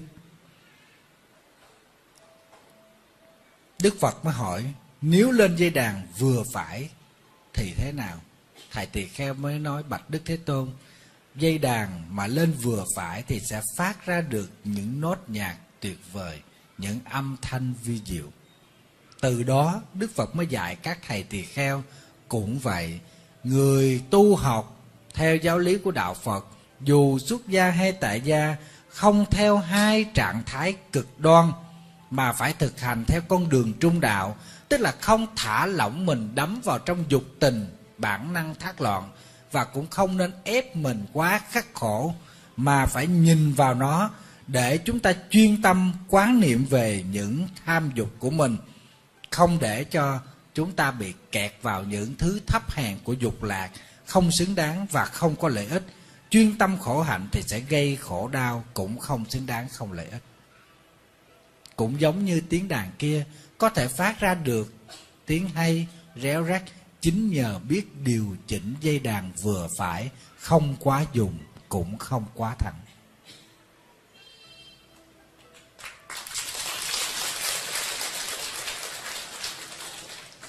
Đức Phật nói rất là rõ, Nếu mà chuyên tâm tham đắm dục lạc thấp hèn, Thì đời sống đó là đời sống cực đoan, Không có lợi ích, Không xứng đáng. Quý vị thấy Đức Phật nói hay không?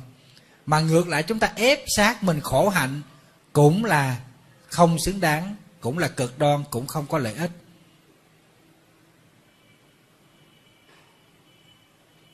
Có một lần thầy nói cái điều này với các em sinh viên Thì nó mới nói, thưa thầy, thực ra đời sống của chúng con tuổi trẻ nó đi qua mau lắm thầy. Mai mốt tụi con già rồi, mà bây giờ thầy không cho tụi con đi chơi không cho tụi con tung tăng, không cho tụi con tìm hiểu, thì như vậy mới mốt già như thầy rồi có muốn cũng không có được. Thì nó ai nói? Già thì nó có cái vui của cái già, phải không? Trẻ thì có niềm vui của trẻ, sồn sồn thì có niềm vui của sồn sồn. Ở chỗ nào nó có niềm vui, chỗ đó trong chùa nó cũng có niềm vui trong chùa chứ không phải giỡn đâu. Quý vị thấy, đâu phải là tại sao các thầy có thể khép mình trong khuôn khổ, nó có niềm vui của nó. Mấy em nó không có, nó nó không dám cãi thầy nhưng mà nó nói là thầy quá là khắc khe với mấy đứa nhỏ. Tại vì mấy em, đệ tử thầy là sinh viên tới, thầy vẫn nhắc là mấy đứa con không được đi chơi. Thời gian đi chơi mấy đứa con đầu tư cho việc học. Để có tương lai, đó chính là cách đền ơn đáp nghĩa đối với cha mẹ của mình. Cha mẹ mình lo cho mình học thì mình cứ học đi. Kẻo mai này cha mẹ mình không còn nữa thì ai lo? Mấy đứa con cũng sẽ bươn trải được, nhưng mà roi vọt cuộc đời quất lên con con sẽ cảm thấy thiếu tự tin và dè dặt với cuộc đời. Trong khi bây giờ con chăm lo học hành, vừa đền ơn cha mẹ mà vừa vẽ ra được một tương lai tươi sáng, thành danh đi, là tha hồ đó mà tung tăng, phải không? Nó nói trọ tới lúc đó hết cơ hội rồi thầy. Bây giờ còn trẻ, còn sức khỏe mà mày thèm cho con đi chơi. Mỗi lần con đi ra chùa, cái thầy hỏi con có đi vũng tàu không? Thầy nói thì trên đường đi ra vũng tàu thì con ghé chùa mà thì thầy phải hỏi chứ làm sao? Dạ. có lần á, thầy nói thôi đi về đi, con đừng đi vũng tàu. Nó cũng đi về, nó về xong nó nhắn tin thầy khó khăn lắm. Biết vậy con không làm đệ tử thầy. Thầy nói, thầy khó khăn với con cái thầy lên niết bàn.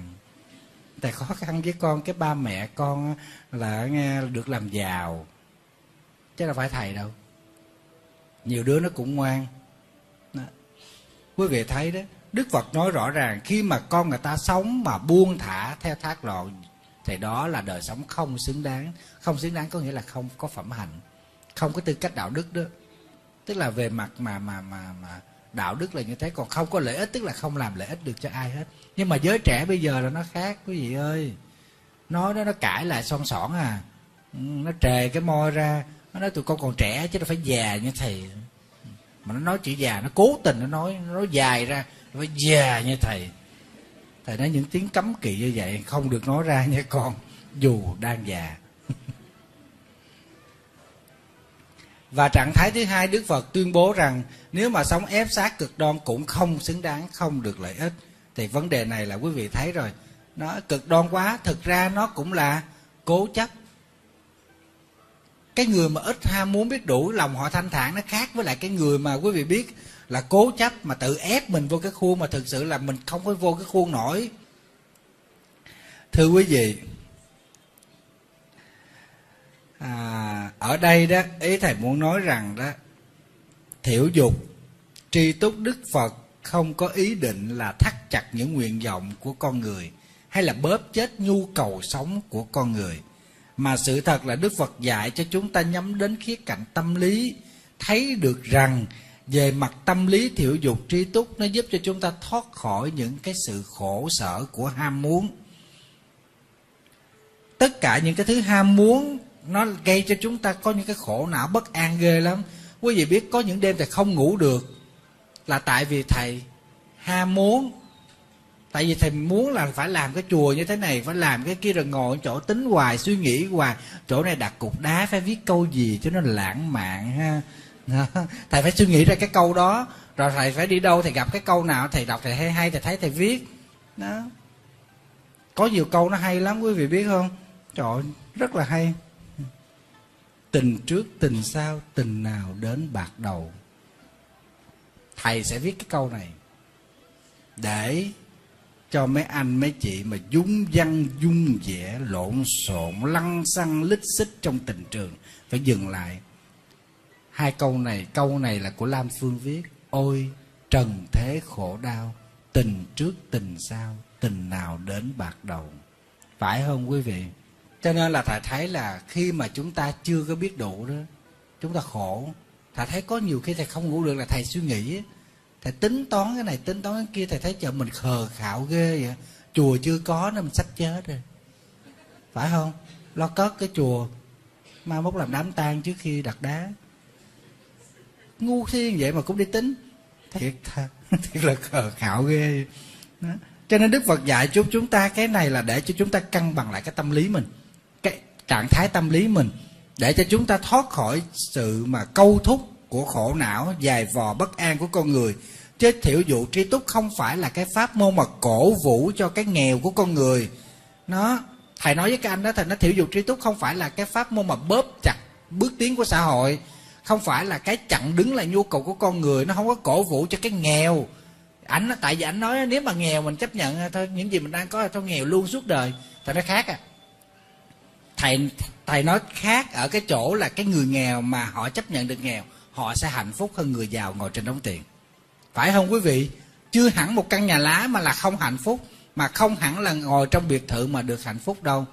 Phải không? Nó đi xe ôm mà phơi nắng ngoài trời vậy thực chất nó vẫn bình an hơn là đi xe hơi. Điều này nó rõ ràng vậy thôi. Ảnh cứ nói là thầy mà nói như thế đó chấp nhận tức là biết dừng lại. Là mình chấp nhận nghèo thì coi như là nghèo luôn nghèo suốt đời tại nó không có. Người ta biết người ta nghèo người ta sẽ không khổ khi người ta có cái tâm muốn làm giàu trên cái nghèo. Từ từ rồi nó cũng sẽ làm ra ra, ra của cải thôi. Nếu anh cần cù anh chịu khó thì anh cũng sẽ bù đắp được những cái thiếu thốn của anh hiện tại. Cho nên anh chấp nhận cái nghèo để anh không khổ vì mình tham giàu. Chứ không phải là chấp nhận cái nghèo để mà mình bị nghèo mãi mãi. Không lẽ bây giờ mình bệnh, rồi cái mình không muốn hết bệnh thầy nói khùng hả? Trời ơi, mình biết mình đang bệnh để làm gì? Để mình không có tuổi thân khi mình thấy người ta khỏe mạnh. Tại thầy từng bệnh thầy biết mà, xin lỗi quý vị, ngồi vậy ngồi không nổi. Trở cái mình trở không qua uống miếng nước nuốt xong xuống. Trợn trọng, trợn trắng ối ra. Nó ối có máu, có đờm, có đồ này kia đó mà thấy mình chết trước mắt rồi. Nó, bây giờ mình chấp nhận mình bệnh. Có nghĩa rằng thấy người ta khỏe mạnh như thế, chúng ta không có ganh tị với họ và không có thèm khát, không có khổ sở rằng bệnh là do nghiệp. Sát sanh gây ra. Muốn như thế, mình phải phóng sanh, phải bố thí, phải cúng dường, phải sám hối. Nó, chứ mình khỏi nhìn ai chứ rồi, mình cũng phải uống thuốc mình phải có cái tinh thần như thế, chứ không phải là mình chấp nhận cái nghèo. Không phải. Đó, thầy nói với anh đó như thế, thầy nói thầy nói, anh có một ngàn rồi là không được có thêm nữa. Thầy không có nói chuyện đó. Anh có một ngàn, nhưng mà anh chấp nhận anh có một ngàn để anh không có thấy người ta có mười ngàn anh tức. Phải không quý vị? Mình cao một thước năm, thì mình bình thường, mình hạnh phúc với một thước năm, thấy người ta một thước bảy cái mình liếc thấy không? Mình chấp nhận có một thước năm thì mình nhìn người ta một thước bảy, thước tám cũng là chuyện của người ta. Chứ không cần phải bon chen mua chỉ đôi guốc hai tấc đi ba bước lật trội lội bản họng. Mà thầy nói với cái anh này thì tức ghê lắm. Thầy cãi với ảnh mà ảnh cứ cãi cãi ngược lại hoài à. Tại nó anh có một ngàn, anh chấp nhận có một ngàn. Điều này không có nghĩa rằng anh sẽ có một ngàn mãi mãi mà anh không đi kiếm tiền nữa anh chấp nhận có một ngàn để anh thấy người ta có mười ngàn, anh không có buồn, anh không có tức, anh không có tham. Đó, anh cứ cố gắng anh làm đi thì anh sẽ có mười ngàn, không những thế anh còn có một trăm ngàn nữa. Đâu có sao đâu, bình thường thôi. Ừ.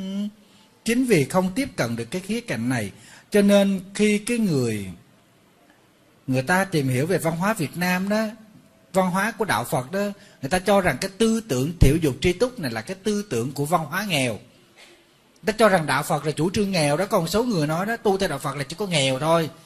Ta nói nghèo mà hạnh phúc, vẫn còn hơn là giàu mà bấp bênh, phải không quý vị? Bây giờ thử hỏi, mưu cầu chính trong cuộc sống của chúng ta là giàu, nghèo hay là hạnh phúc, bình an?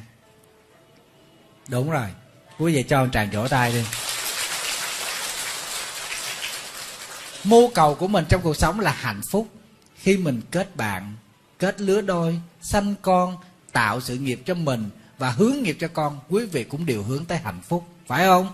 Hạnh phúc của một người cũng là hạnh phúc của gia đình, của thân tộc. Như vậy, hạnh phúc của người này gắn liền với nỗi khổ đau của người kia. Thì chúng ta chọn hạnh phúc cho ai mà chọn giàu? Nhưng mà mấy cô đó mà gả con là thường là nhắm tới nhà giàu để gả. Phải không bé tại sao không? Thiệt không? Bây giờ bác nói thì thầy tin, nhưng mà cách đây 30 năm trước có không? Có nhắm tới nhiệt dèo gã con không? Có không? Tâm lý chung thôi. Phải không quý vị? Thực ra cha mẹ nào cũng muốn con cái của mình có một cái nơi yên ổn để mà nó dựa, nó nương suốt đời. Yên ổn thứ nhất là gia đình đã có đạo đức. Yên ổn thứ hai là gia đình đó kinh tế ổn định thầy thầy biết ở quê thầy mà nghe nói nhà nào mà có lúa nhiều là người ta gả con. Tới hỏi nghe nó có có lúa nhiều, không biết thằng quỷ đó làm nghề gì. Nó mà nghe nói nhà đó có ruộng, có đất, nhiều đó là là là là gả con à. Không đâu, cái đó thường nó đem tới cái đau khổ cho người phụ nữ. Chẳng ham ruộng cả ao điền, chỉ ham cái bút, cái nghiêng anh đồ. Phải không mấy cô? Cho nên người con gái biết phản kháng lại những cái sự sắp đặt, áp áp đặt của cha mẹ là bắt con cái gả tới những nhà mà ruộng, mà cò bay thẳng cánh. Cho nên người con nói liền là chẳng ham cái ruộng cả ao điền, chỉ ham cái bút, cái nghiêng đồ tức là chỉ ham những người chồng có tri thức. Người có tri thức, người đó mới có thể cải thiện được cuộc sống từ nghèo thành giàu. Còn không có tri thức thì từ giàu nó cũng thành ăn mài, cái bàn về trời. Phải không quý vị? Nó quan trọng cái tri thức, cái hiểu biết, cái nhận thức của con người. Cái đó mới đem tới cái hạnh phúc lâu dài. Mưu cầu của con người chính là ở cái chỗ văn hóa mà chúng ta học được ở đạo phật là nhận thức về thiểu dục tri túc để tạo ra đời sống bình yên của con người. Thực hiện những ước muốn khát vọng, thực chất không đánh đi hạnh phúc của mình, không đánh mất. Không bao giờ chúng ta đánh mất hạnh phúc của mình khi chúng ta thực hiện những khát vọng nghĩa là chúng ta đừng để những cái ước vọng, những cái những cái cái cái ước muốn của mình nó nung nấu, nó làm cho mình bị khổ não. Điều này nó mới là quan trọng. Chứ quý vị đừng có nghĩ đạo phật dạy quý vị là bỏ hết đi, thôi dẹp đi, đời vô thường. Không có cái gì tồn tại, nó buông hết đi đi vô chùa tu trời đi tu hết rồi chết rồi. Phải không? Chắc gì được bình yên. Trời ơi, vô cái liếc thấy với nhau cũng chết. nhất là mấy chị em nói người này đây ngó người kia người kia ngó người nọ, rồi mấy anh cũng vậy. Chưa chắc gì được bình yên đâu. Cho nên quý vị biết đó, khát vọng, nó nung nấu chúng ta và nó kéo chúng ta để cho chúng ta không thoát ra được, bị khổ não. Đây là sai lầm. Đức phật dạy cho chúng ta thiểu dục tri túc là chúng ta xác định được rằng con đường hạnh phúc không phải là từ chối khát vọng, không phải là bỏ đi ước muốn của mình không phải, mà là đừng để cho ước muốn khát vọng nó biến thành ngọn lửa đốt cháy chúng ta. Thông thường thì người ta có thể bóp đầu, vò, tráng mất ăn, bỏ, ngủ vì những khát vọng chưa thỏa mãn, chưa thực hiện. Vì thế cho nên một khi mà chúng ta thực hiện cái cái cái cái ước vọng của mình, thầy nghĩ quý phật tử phải nhớ tới bốn chữ thiểu dục tri túc ở góc cạnh nào quý vị cũng phải áp dụng cái cái cái cái cái công thức này, cái quy chuẩn này. Ví dụ như giờ các vị, các cô không có đi làm đi, ở nhà nấu ăn, mình ở nhà mà nấu ăn chăm sóc bữa ăn cho gia đình, đưa con cái đi học, quý vị cũng phải ứng dụng cái thiểu dục tri túc này. Để chúng ta điều phối cái đời sống của mình, sao cho nó giao hòa cái tình cảm với những gì mình đang có từ cái mức thu nhập không quá phung phí cũng không có quá khắc khe hay là hà tiện quá, không có nên. Nó chúng ta phải biết tạo ra một cái bữa bữa ăn thật là nhẹ nhàng, đầm ấm từ những ước vọng của mình. Do đó, người mà thực hiện được ước vọng của mình trong sự nỗ lực tối đa, đó chính là trạng thái tâm hồn thanh thản, không bị ước muốn nó đốt cháy cũng, đốt cháy, thì đời sống đó được gọi là đời sống an lạc đích thực đây mới là cái điểm chủ ý mà đức phật dạy cho chúng ta trong cái giáo nghĩa thiểu dục tri túc. Thiểu dục tri túc, đức phật dạy cho chúng ta với một mục đích duy nhất đó là giúp cho chúng ta bình đẳng trước hạnh phúc. Bởi vì hạnh phúc đó, nó hoàn toàn tùy thuộc vào thái độ tâm lý của con người, chứ không phải nó tùy thuộc vào vật chất hay tiền bạc. Các vị đồng ý không? Hạnh phúc hoàn toàn tùy thuộc vào trạng thái tâm lý của con người, chứ không đặt trên tiền bạc. Quý vị thấy được điều này thì mình sẽ hướng mình đi tới những cái hạnh phúc đích thực. Ví dụ như mình nấu một buổi ăn mà chồng con ăn hết trơn, không chữa gì, quý vị hạnh phúc không? Quá hạnh phúc, phải không?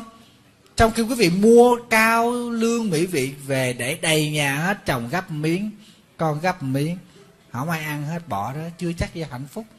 Cho nên hạnh phúc là hạnh phúc trên nền tảng của trạng thái tâm lý. Trạng thái tâm lý của con người, ví dụ như người chồng thấy mình nấu ăn mệt, tự nhiên tới bóp cái vai một cái, quý vị cũng cảm thấy hạnh phúc. Hay ta rót một ly nước, mà rót nó nó nhiễu nhão tùm lum đưa tới, thôi uống đi. Tự nhiên mình cũng thấy nó ngọt ngào, bây giờ nấu suốt đời cũng được, phải không bác?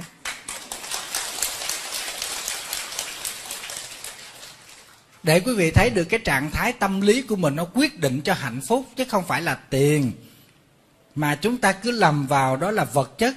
Thực tế phụ thuộc vào vật chất hay tiền bạc chỉ là một phần nhỏ. Chứ không phải đó là yếu tố quyết định đem tới hạnh phúc hoàn toàn cho chúng ta.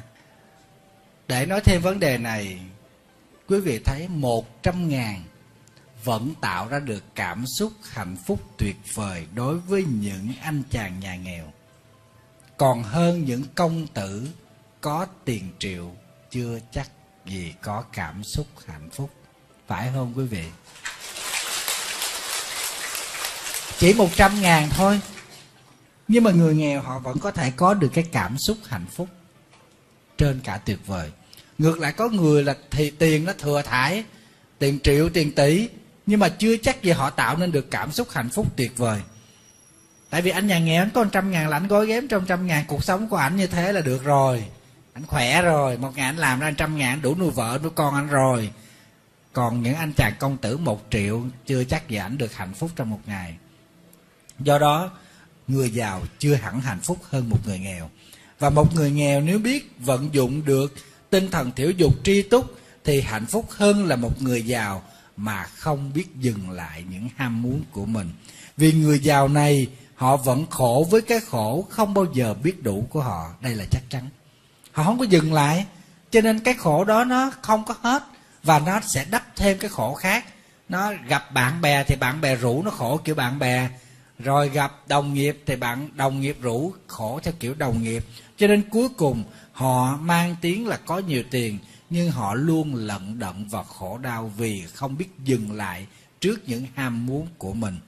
Cho nên ở trong kinh đức phật dạy, người biết đủ, nằm dưới đất vẫn thấy an vui. Người không biết đủ, ngồi trên thiên đường vẫn chưa vừa ý.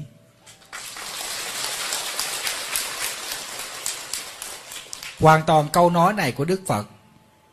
Thầy nhớ là trong kinh tứ thập nhị chương, đúng rồi. Và trong thủy sám chúng ta tụng cũng có câu này. Đó. câu này nó đề cập tới khía cạnh tâm lý của con người nó xác chứng được tầm quan trọng của thái độ tâm lý từ đời sống của chúng ta chứ không phải là nó không phải là đức phật tán dương ca ngợi cái nghèo mà là là là là là chỉ trích cái giàu. Không phải đức phật khích lệ chúng ta chấp nhận nghèo sống với cái nghèo mãi mãi mà cáo buộc con người ta sống đối với lại cái cái cái cái cái cái cái, cái sự giàu có là khổ đau hoàn toàn không phải như thế. Vì hạnh phúc và khổ đau thực ra chỉ là hai mặt của một đồng tiền thì thái độ tâm lý quyết định cho con người giữ ở mặt hạnh phúc hay là ở mặt khổ đau. Phải không quý vị?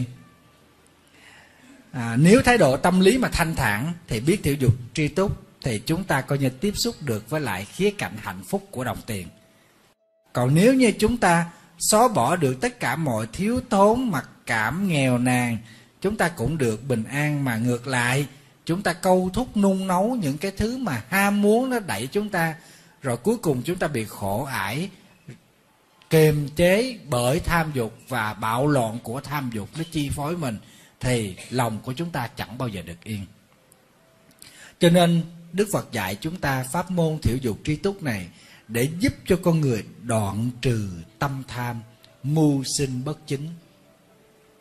Đây mới là cái giá trị cao trong cái đời sống hiện thực giúp cho chúng ta sống một cách chân chánh, chứ không có phải là cưỡng cầu hay là đoạt à, tài sản của người khác hay là cướp công của người khác, mà là chúng ta đoạn trừ lòng tham. Khi trong tâm của mình mà bị câu thúc nhiều quá bởi những cái ý niệm ham muốn thì con người sẽ dễ dàng bất chấp đạo lý. Và người đó đang tâm thực hiện tất cả một mánh khóe thủ đoạn cho đạt bằng được ý nguyện của mình, ý muốn của mình, bất kể điều đó gây ra tổn thương đến sinh mạng, tình cảm và đời sống của người khác. Cho nên ít ham muốn thì ngay những nhu cầu, những khát vọng chính đáng cũng không làm vẫn đục cái tâm trong sáng của con người. Nó vẫn là lành mạnh, nó vẫn bình lặng, thì người đó làm sao có sự tham lam hiện hữu trong tâm được? Phải không các vị? Khen hoài khen hoài, mắc cỡ. Thầy thấy xã hội ngày nay đó không phải thầy lên án, nhưng thực sự nó có nhiều mánh khóe quá. Tự nhiên thầy sợ giang hồ hiểm ác. Phải không quý vị? Con người ta sống đầy thủ đoạn, đầy mánh khóe. Tệ nạn, tham nhũng, vân vân, tham ô đục khoét, rồi lừa gạt với nhau, nó dãy đầy cho nên đi đâu mình cũng nghe là trộm cướp, càng ngày càng trắng trợn.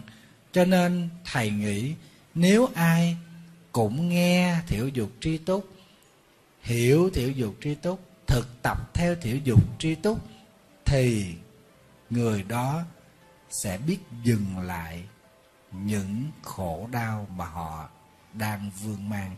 Và chính thức họ biết xây dựng được một đời sống hạnh phúc, an vui hiện hữu tại cuộc đời này. Vâng xin tạm biệt các vị.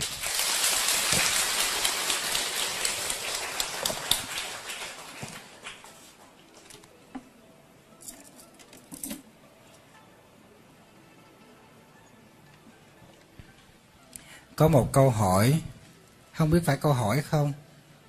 Để thầy xin phép đọc một câu hỏi. Kính bạch thầy, pháp danh của con là tâm thiện quốc trời ơi cái pháp danh gì mà nó dài dữ vậy à, hôm nay con cùng với gia đình đến nghe thầy giảng và rất hạnh phúc về điều ấy. Trong lúc con nghe thầy giảng về ham muốn và biết rằng nên hạn chế ham muốn để hạnh phúc nhưng đôi lúc khi con người cảm thấy mình không muốn gì không thấy có mục đích gì để phấn đấu thì con xin thầy cho lời khuyên để làm gì cho mình phấn chấn và yêu cuộc sống hơn có phải cuộc sống quá đầy đủ vật chất làm cho con người cảm thấy nhàm chán không? Con còn nhiều câu hỏi liên quan đến điều này, nhưng chắc có nhiều phật tử khác có những thắc mắc nên con xin thỉnh thầy. Thỉnh thầy cho những lời dạy hữu ích. Kính chúc thầy cùng chúng tăng ni luôn an lạc và hạnh phúc. Ở đây các em này hỏi như thế này. Đôi khi trong cuộc sống của con người cảm thấy mình không muốn gì không thấy có mục đích gì để phấn đấu thì con xin thầy lời khuyên để làm gì phấn chấn cuộc sống. Thật ra không phải. Không có lúc nào chúng ta không muốn gì. Ngay lúc mình không muốn gì cũng là đã muốn. Mình muốn không ai làm phiền mình. Và mình muốn mình được bình yên. Mình muốn mình không cuốn hút vào cuộc đời. Và mình muốn mình không có bị quay bởi những cái ham muốn của cuộc đời. Vẫn là muốn. Vẫn có ý niệm muốn trong đó. Chứ không phải là hồng hàm muốn. Nhưng mà vì sao? Vì chán nản muốn mà không được. Muốn tiến thân mà không có được. Hoặc là bị sức ép của cuộc đời. Nhưng mà cũng có những lúc người ta đã thành tựu hết được rồi, người ta cảm thấy chán nản và người ta không muốn. Thực chất người ta không muốn, cũng là muốn muốn cái không muốn. Phải không các vị? Khi mà mình không muốn cái gì, thì cũng có nghĩa rằng mình đang muốn, mà chúng ta muốn không bị cái gì nó ràng buộc. Muốn không có cái gì bản chất nó vẫn là muốn. Trời ơi, cái này lý thiền á nha. Cái này nói theo thiền học à Chứ không phải nói khơi khơi à nha. Ừ. Nhưng mà thầy hiểu cái câu của các em này hỏi Tức là lúc này là mấy em nó Nó không có tinh thần sống Nó không phấn chấn Tức là nó giật giờ giật dưỡng. Có nghĩa là mấy em này Tức là nó đang gặp một cái bế tắc gì đó Hoặc là một cái áp lực gì đó chặn đứng tất cả những cái bước tiến thân của nó, hoặc giả là nó cảm thấy nó nản quá trong cái cuộc sống, trong tình trường. Mà thầy nghĩ đa phần là dính líu tới tình cảm. Những em trẻ mà có tư tưởng này là dính tới tình cảm hết á. Bữa nào mà nó nó hút sáo đồ, nó đi, nó tung tăng, nó vui vẻ là biết là bữa đó nó ok rồi đó. Ừ. bữa nào mà nó sụ sụ mặt là biết ngay nhỏ kia là cancel nó rồi. Đó. hẹn chiều nay mà sao không thấy em? À, thế là đi vô ra anh cáo gắt. Ai hỏi ai anh cũng nạt hết á. Mà hẹn mà người ta nhận lời hẹn rồi là mặt ảnh tư rối à. Mà tinh thần này tại vì thầy có làm cuộc trắc nghiệm rồi những em trẻ mà nó có tinh thần nè mà mà nó chán đời nó không muốn gì nữa hết. 98% gắn với tình cảm lứa đôi. Phải không mấy đứa con? Phải không? Chắc chắn là như thế luôn. Tại vì sao? Vì khi mình yêu đó, mình có nhiều cái kỳ vọng lắm. Và mình tin tưởng rằng cái người đó sẽ ủng hộ mình. Nhưng mà bỗng dưng người đó không ủng hộ mình nữa, không thương yêu mình nữa, không đáp ứng nhu cầu cho mình nữa, tự nhiên cảm thấy buồn, cảm thấy chán đời. Đó. cho nên mới nói là hôm nay trời nhẹ lên cao, tôi buồn, chẳng hiểu vì sao tôi buồn. Là bộ chứ sao không biết. Nhưng mà nói ra, ngại lắm. Vâng thưa với lại các vị, thật ra cuộc sống của chúng ta cho tới hơi thở cuối cùng chúng ta vẫn có ước muốn. Chứ không có lúc nào không có ước muốn đâu. Ít nhất chúng ta cũng muốn chết thanh thản. Phải không? Đó. Ngay lúc mà chúng ta không có đồng xu nào, chúng ta chán quá, tôi muốn gì nữa, đừng làm gì nữa. Mình cũng muốn muốn đừng ai dòm ngó tới tôi, đừng ai đụng tới tôi để cho tôi yên. Phải không? Sâu thẳm trong tâm mình, biết hơn ai hết rằng mình đang muốn cái gì. Và thầy tin chắc rằng muốn đó sẽ không làm khổ đau mình và nó không thôi thúc mình để thực hiện cho bằng được. Và nó cũng không là những điều mà khiến cho chúng ta trăn trở khi muốn mà không được. Nếu được như thế, chắc chắn các vị luôn quán niệm về thiểu dục tri túc.